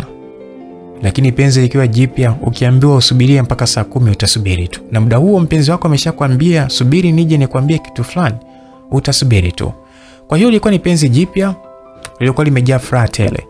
Maulidi alifanikiwa kukubaliwa na mwanamke ambaye alishawahi kuwa na ndoto naye kwa muda mrefu sana, zaidi ya miaka mitano iliyokuwa imepita tangu alipomjua Trisha kwa mara ya kwanza. Moyo wake ulionyesha dhahiri kwamba anahitaji penzi kutoka kwa binti huyo, na kamwe hakuwahi kumpenda mwanamke mwingine kabisa. Katika suala la kusoma, Trisha alikuwa anamaanisha, alikuwa serious kupita maelezo. Usiku ule alisoma sana sana, alipitiliza hadi muda ule aliopanga kulala. Ilipofika saa tisa aliona ni heri alale, akamtumia ujumbe mmoja Maulidi. Upo macho bado? Mi ndo nalala, naomba nikutakia usiku mwema, kesho tutaongea vizuri. Wala haukujibiwa ule ujumbe, kwani Maulidi alikuwa ameshalala muda mrefu sana. Saa kumi na moja alfajiri chumbani kwa mzee Mwaipopo kulikuwa kuna vita kuwa ise, vita iliyokuwa ikitoka kwa baba na mama huyo. Hata kama unipendi jamani, lakini unavyofanya sio vizuri. Sikupendi kivipi Matrisha eh? Mi naona nampenda binti yako kuliko unavyonipenda mimi, ila sawa Joseph, sawa. Ah, Matrisha, unajua sikuelewi, hautonielewa. Hakuna siku ulishawahi kunielewa hata siku nipokuomba unikatie leseni hukunielewa, lakini binti yako yeye umemwelewa. Sawa tu, sawa Joseph. Mama aliongea kwa uchungu mkubwa, alikuwa anaona wivu, roho ilimuuma, alihisi kwamba mumewe anamfanyia makusudi kabisa. Mzee Mwaipopo alibaki akicheka tu. Sasa ilikuwa ni siku ya Jumamosi ambapo binti alikuwa amejilaza nyumbani peke yake. Mama yake, dada wa kazi pamoja na mdogo wake walikuwa wameenda kwenye sherehe huko Mlandizi, huku baba akiwa ofisini kwake, kwani ile kazi haikuaga na likizo, labda ajipe mwenyewe. Trisha alipokea ujumbe kutoka kwa Maulidi, ulikuwa unasema hivi: my love, naweza nikaondoka muda wote kuelekea mkoani, kuna kazi naenda kufanya. Hii meseji ilikuwa ni nzito na alimfanya binti ajisikie vibaya, kwa sababu alitamani awe karibu na Maulidi hata kama haonani mara kwa mara, lakini anapokuwa mkoa mmoja naye basi nafsi yake inakuwa safi kabisa. Eh, alafu wewe nini mke wangu? Ah, bwana mi sitaki uondoke, afu mi shakuzoea Maulidi. Najua umenizoea, lakini ni pesa naenda kutafuta mpenzi wangu. Mi mwenyewe natamani sana nibaki hapa kwa ajili yako mrembo wangu. Maulidi, mi sijawahi kupenda hivi, sijui hata kwa nini, yani nilikuzungusha muda wote. Naomba ukaribu wako, si wish tu da mpenzi wangu na mpango huo, ila nitakwambia lini. Ah, nakusanya kiasi kidogo cha fedha, alafu baadaye nitachukua room. Da, uko wapi kwani sasa hivi? Niko nyumbani kwa mjomba au? Ndio. Njoo basi hapa nikuone kabla hujaondoka. Si unajua sijakuona tangu siku ile. We, he, sitoletewa shida hapo na baba yako kweli? Amna bwana, ameenda kazini, afya anaga siku ya mapumziko. Okay, na watu wengine hawapo? Nipo peke yangu bwana mama na wadogo zangu wameenda kwenye harusi huko kibaa Njoo bwana, mi nitakupa zawadi. Mm, kweli? Ndio, si unakuja eti? Ya, nakuja, ngoja nioge basi. Sawa, usichelewe. Sawa. Maulidi alipokuwa amesikia neno kupewa zawadi, wala hakuweza kuvumilia. Alijiandaa haraka iwezekanavyo, akaoga vizuri, akavaa nguo yake akumpendeza, kisha akachana nywele na kupaka mafuta, halafu akaondoka nyumbani. Sasa huko binti naye alikuwa akitengeneza chapati za maji, yani zile za kumimina na supu ya kuku. Alafu alipomaliza aliketi sebleni akawa anachezea simu yake. Ilipita takriban lisali zima kwa kijana kufika pale maeneo. Alipofika tu alimpigia Trisha. Halo, uko wapi? Niko getini hapa. Sawa, ingia tu, wako kamlango kadoka kwa wazi. Hmm, sawa. Maulidi alisukuma geti dogo kisha akazama ndani. Ah, panaogopesha, alisema, maana simu bado ilikuwa haijakata. Acha uoga bwana, aliongea Trisha na kujitokezea barazani. Alipomwona tu hivi, wote walitabasamu kwa furaha na kukata simu. Maulidi kwa machale machale alisogea mpaka pale barazani, akavua viatu kisha akaanza kuingia ndani. Hodi, alisema huku akitokea katika sebule la kina Trisha. Karibu, alisema Trisha kisha akaketi kwenye sofa na Maulidi alisimama sebleni akawa anamtazama binti. Sasa Trisha akasema, keti basi. Da, unajua nimefika kumbe, wala hata siamini yani. Hivi kumbe upo mwenyewe? Mwache uoga bwana, kaa hapo nikuletee juice. Maulidi alisogea naye akaketi. Bado watu hawa hawakuzoeana vizuri, kwani mara nyingi walizoea kuwasiliana tu kwenye simu na sio ana kwa ana. Trisha alianza kuangalia angalia kwa aibu, akasimama na kuondoka, akaenda kuleta juisi na kumpatia Maulidi, alafu yeye akaketi hali chochote. Maulidi alimtazama kwa muda, binti ana amani, ndipo akatabasamu na kusema, hakika mtu akikuangalia kwa haraka haraka hawezi kudhania kwamba upo hivi. Mm, kwani poje? upo kisistadu sana. Wewe? Mimi? Ndiyo. Kivipi? Ah, hujanielewa labda, ngoja nikueleweshe. Wewe umekaa kisistadu sana kiasi kwamba ni nilijua kwamba wewe yani nikifika hapa hautakuwa unang'ata vidole, lakini nimefika nimegundua kumbe una aibu sana. Bwana, mi sitaki bwana, mi sina aibu mbona? Basi kama una aibu, hebu nitazame usoni. Trisha aliwaza kwa muda, halafu akafunua macho na kumtazama Maulidi usoni, ndipo akacheka na kuondoka pale sebleni. Alimwacha Maulidi akitabasamu huku akijiuliza kwa nini mtoto wa kike ni mwoga vile. Yaani akiwa nje na pale nyumbani alikuwaga mchangamfu sana, lakini pale nyumbani wala hakuwa na amani kabisa. Maulidi alichezea simu yake na Trisha alitenga chapati na supu ya kuku kumbini mezani, alafu akarudi na kumkumbatia. Tukale. Maulidi alimtazama Trisha alafu akasema, "Njoka hapa basi. Trisha akamtazama kwa aibu alafu akajibu, hmm, nije kufanya nini hapo? asiuje tu. No, tule kwanza, nimeshatenga chakula mezani bwana. Maulidi alitabasamu kwa furaha kila alipoona mapozi ya Trisha, ndo alikuwa anazidi kumpenda zaidi. Aliinuka akamfuata kumbini, wakaketi na kuanza kula. Maulidi alikula chapati mbili tu, alafu akainuka na kunawa mikono, akaondoka na kwenda kukaa sebleni akichezea simu. Trisha naye alikula mpaka akamaliza, halafu alitoka pale akaenda sebleni. Kosa likatokea pale alipokuwa anajipitisha pale Maulidi alipokuwa. Maulidi alimvuta kwa nguvu mpaka mtoto wa kike akajikuta amemkalia mapajani. We, we acha bwana. Maulidi alimvuta kwa karibu, alafu akawa anamtazama usoni. Binti anaanza kutetemeka tu kujifurukuta ili atoke. Niache basi. Kwa nini unakuwa mwoga hivi? aliuliza Maulidi huku akijisikia kusisimka, maana binti alikuwa amemkalia. Bwana, niache kwanza, alisema binti na kujitoa, lakini wapi. Maulidi alikuwa na nguvu kinoma. Bwana, niache basi. Wakati anafanya hivyo, kumbe mzee Mwaipopo alikuwa amekuja nyumbani mara moja. Kuna document fulani alikuwa ameifuata. Alipaki gari nje ya geti, alafu akafungua geti dogo, maana halikufungwa na ufunguo, akazama ndani. Sasa alipofika ndani, alishangaa kukuta viatu vya kiume pale nje, alafu akasikia binti yake ndani akisema, niache basi, niache, niachie. Ghafla alisikia sauti ya mabusu, akashtuka na kuamua kuwavamia ndani. Alipofika alikuta mwanaye amepakatwa, anapigwa denda taratibu na macho kafumba. Uwe msikilizaji, kumbuka ninayekusimulia simulizi hii ni mimi rafiki yako muda wote Lucas Lumbas kutoka hapa Simulizi Mix. mtunzi Mr. AB. Kumbuka unaweza ukanipata kwenye WhatsApp namba 0710 20 81 45. Hiyo ndiyo namba yangu ya WhatsApp. Unaweza ukanipata na tukawa wote kwenye grupu la pamoja. Basi Maulidi alihisi kuna mtu ameingia pale ndani, akamwachia ulimi binti. Alipogeuka hivi hakumkuta mzee. Mzee alikuwa ameshatoka, akatembea taratibu na kusimama, alafu akawa anawaza achukua hatua gani. Trisha alifumbua macho, alafu akamkumbatia kwa nguvu Maulidi. Alikuwa ameshasikia raha zisizo za nchi hii, akamlazia kichwa kwenye bega la kulia, alafu akamkumbatia kwa nguvu. Kimya kilitanda pale ndani. Mzee naye akajibanza kutani akiwa na hasira sana. Aliona binti yake alikuwa analeta umalaya ndani ya nyumba yake. Roho ilimuuma sana.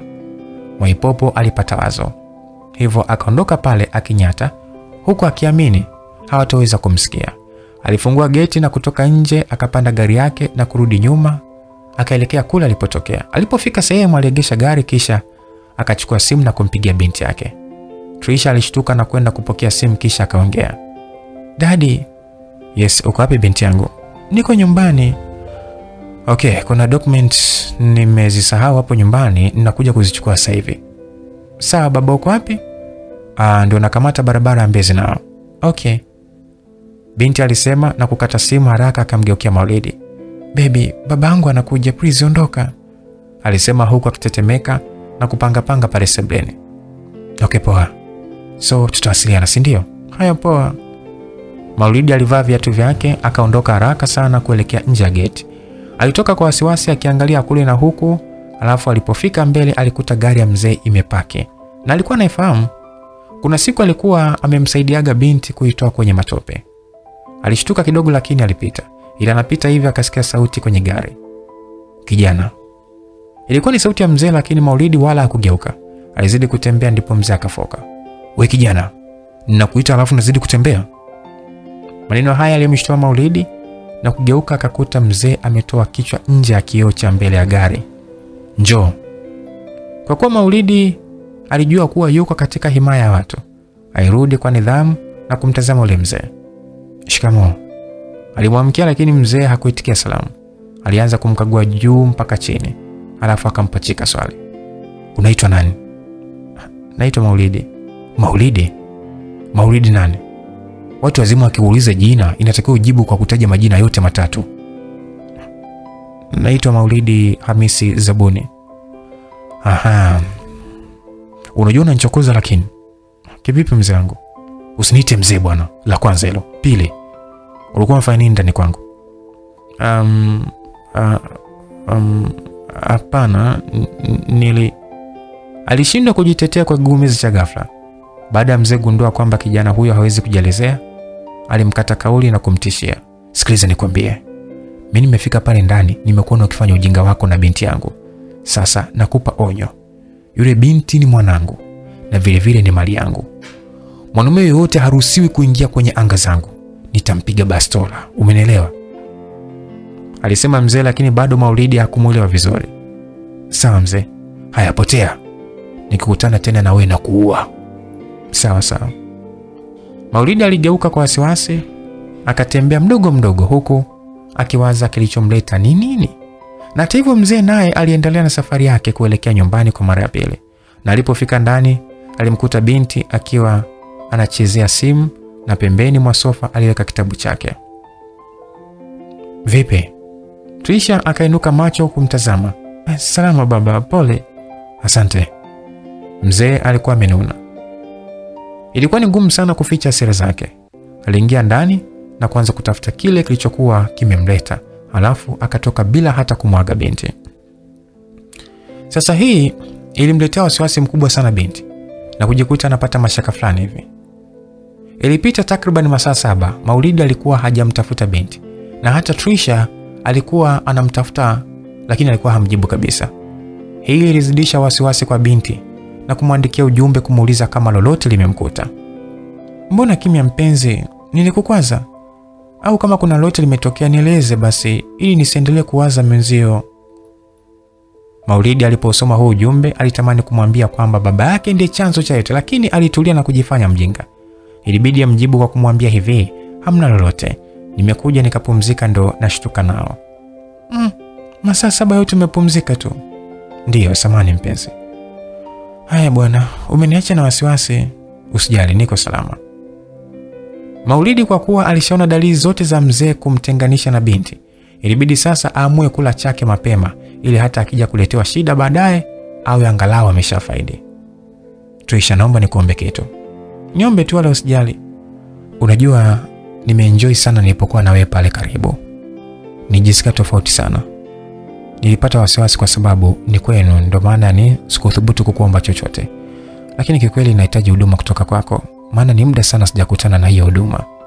Mm, huduma gani?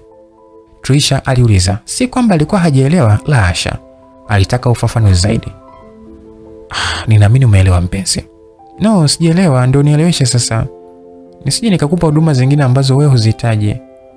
Unajua mimi ni daktari, so natakiwa nijue mgonjwa wangu anahitaji nini, nisije nikampasua kichwa afu kumbe mgundo unauma. Ni kweli, lakini kikweli naamini unajua kwa nini tumeingia kwenye mahusiano. Jamani Maulidi, kuwa mwazi basi eh? Mi nimeingia kwenye mahusiano ya malengo na wewe, wala sio kingine. saa mpenzi, unajua Trisha, ninahitaji penzi lako eh? Hey, penzi? Hmm, hebu rudia tena, maana kama sijaelewa hivi. Ah, nimekuja pale nyumbani uniambia utanipa zawadi. Nilijua tutafanya, lakini bado sijachelewa. Hebu tafuta basi siku ukiwa free, tutafute mahali tukapumzike kwa dakika kadhaa. Hmm. Maulidi, nikuulize kitu? Ya. Una malengo gani na mimi? Nahitaji kukuoa siku moja.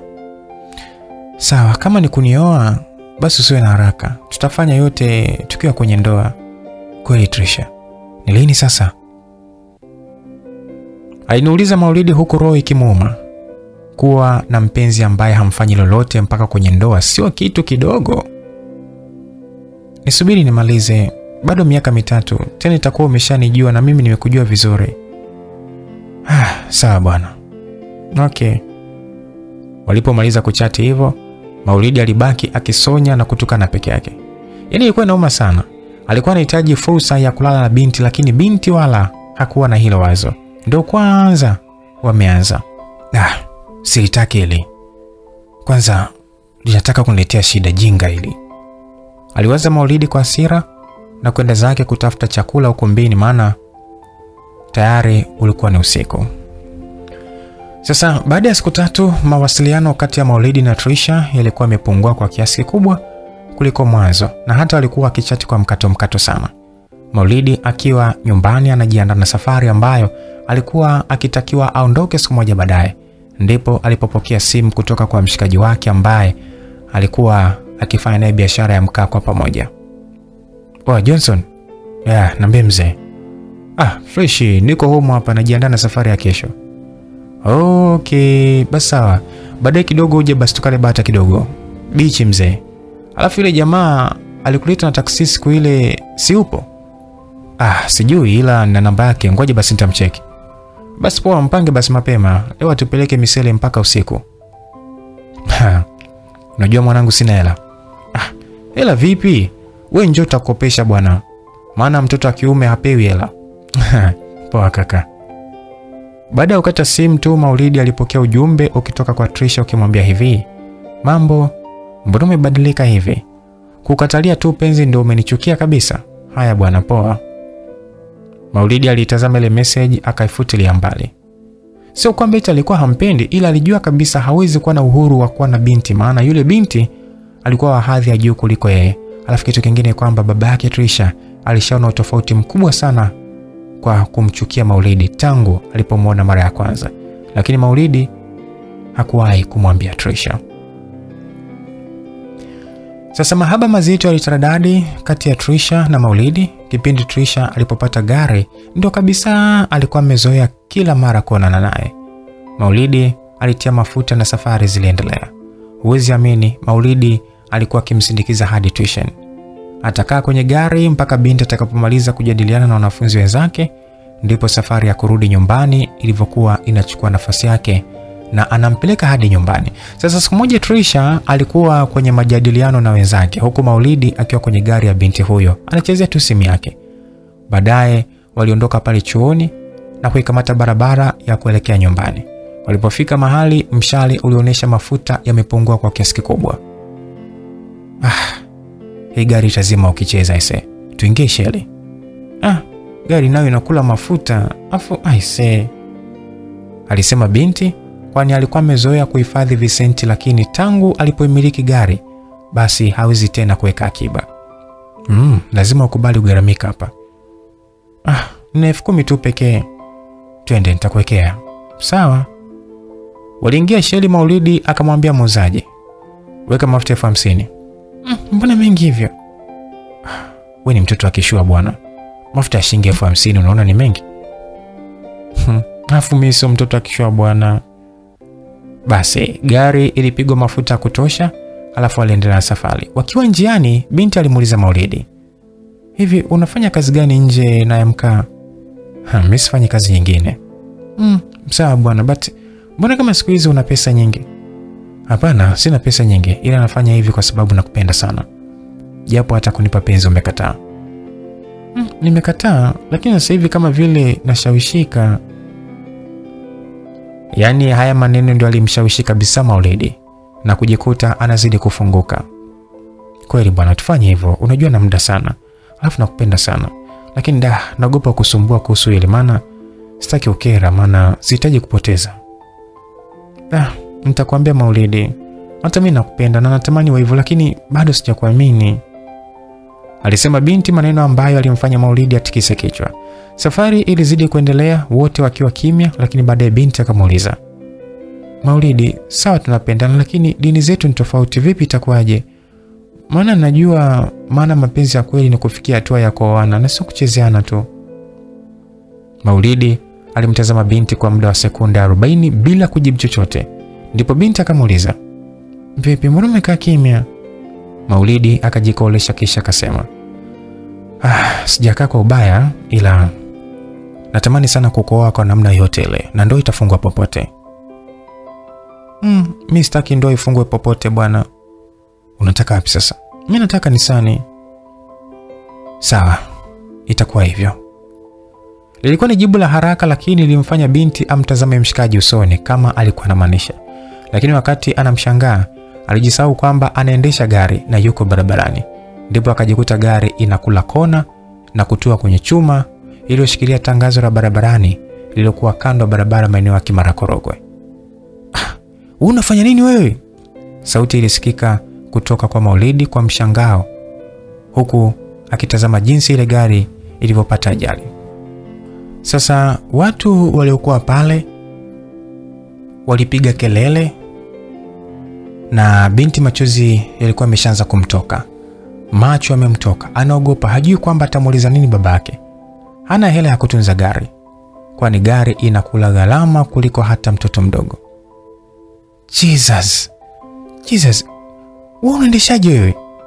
Maulidi alijikuta anafoka na kushuka kwenye gari. Binti naye akashuka kuangalia hivi tayari ameshaigongesha gari. Rangi imetoka na tayari limeshapinda kidogo upande wa kushoto wa gari lile karibia na taa. Maulidi alimtazama kwa hasira, binti naye akamtazama. Watu wakawa wanasogea wanaangalia, lakini ilivyoonekana binti hakupendezwa na jinsi Maulidi alivyomfokea. Alikuwa apendi kabisa kufokewa na mtu. Alikuwa na jeuri fulani hivi, kwani alitokea katika familia iliyozoea kumdekeza. Alirudi kwenye gari, Maulidi naye akarudi kwenye gari. Gari iliwashwa na binti, halafu safari ikaendelea, wote wakiwa kimya. Hakuna aliyeongea na mwenzake kwa muda. Binti alipofika karibia na Kimara mwisho, aliishiwa uvumilivu, akapaki gari, alafu akalalia usukani na kuanza kulia. Maulidi akajua lazima amemkwaza. Alimvuta kwa nguvu na kutaka kumlaza kifuani kwake, lakini binti alimfokea, niache. Sorry bwana, si ni mambo tu ya kawaida, lakini naomba niache. Binti alizidi kujitoka kwa jamaa, alikosa furaha. Nitamwambia nini baba nielewe? Usiogope, ngoja tuipeleke gereji ifanywe marekebisho. Mi sina hela. Kwani hii itakosti shilingi ngapi? Ah, inaweza kufika hata laki mbili. Mm, laki mbili? Mi sina, nitamwambia tu baba atanielewa. Ah, nitakusaidia. Utanisaidia? Aliuliza Trisha, ndipo Maulidi akatikisa kichwa kukubali. Binti akasema mi sitaki. Kwa nini hutaki Trisha?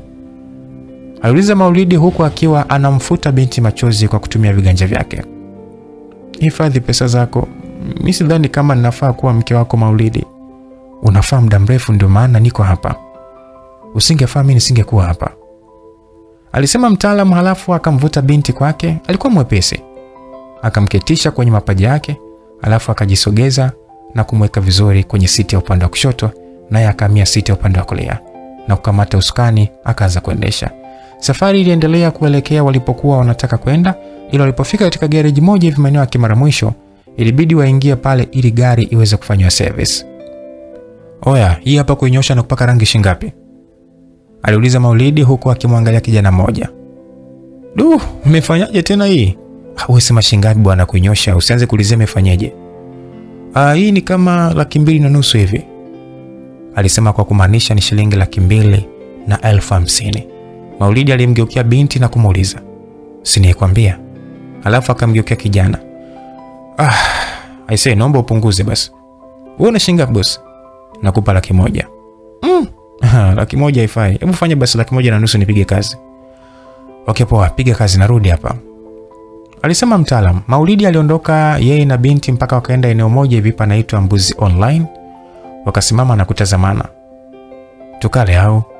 Aliuliza Maulidi, lakini Trisha hakujibu. Ikabidi amshike shavuni na kumwambia, samani, huenda nimekwaza mahali fulani, ila Trisha, kikweli wewe nakupenda sana. Binti alitikisa kichwa kisha akautoa mkono wa yule mwamba katika shavu lake na kumwambia, hujanikosea, tuingie ndani basi, Mimi napata hofu hapa. Sawa. Waliingia ndani na kuagiza mbuzi. Yaani siku ile Maulidi alikuwa anapata mawazo sana. Maana alikuwa anatumia pesa ambayo alikuwa amepanga ni ya kulipia chumba ili aanze maisha ya kushida. Moyo ulimuuma, lakini ndo hivyo, akiwa kama mwanaume lazima agharamie penzi lisije likabuma.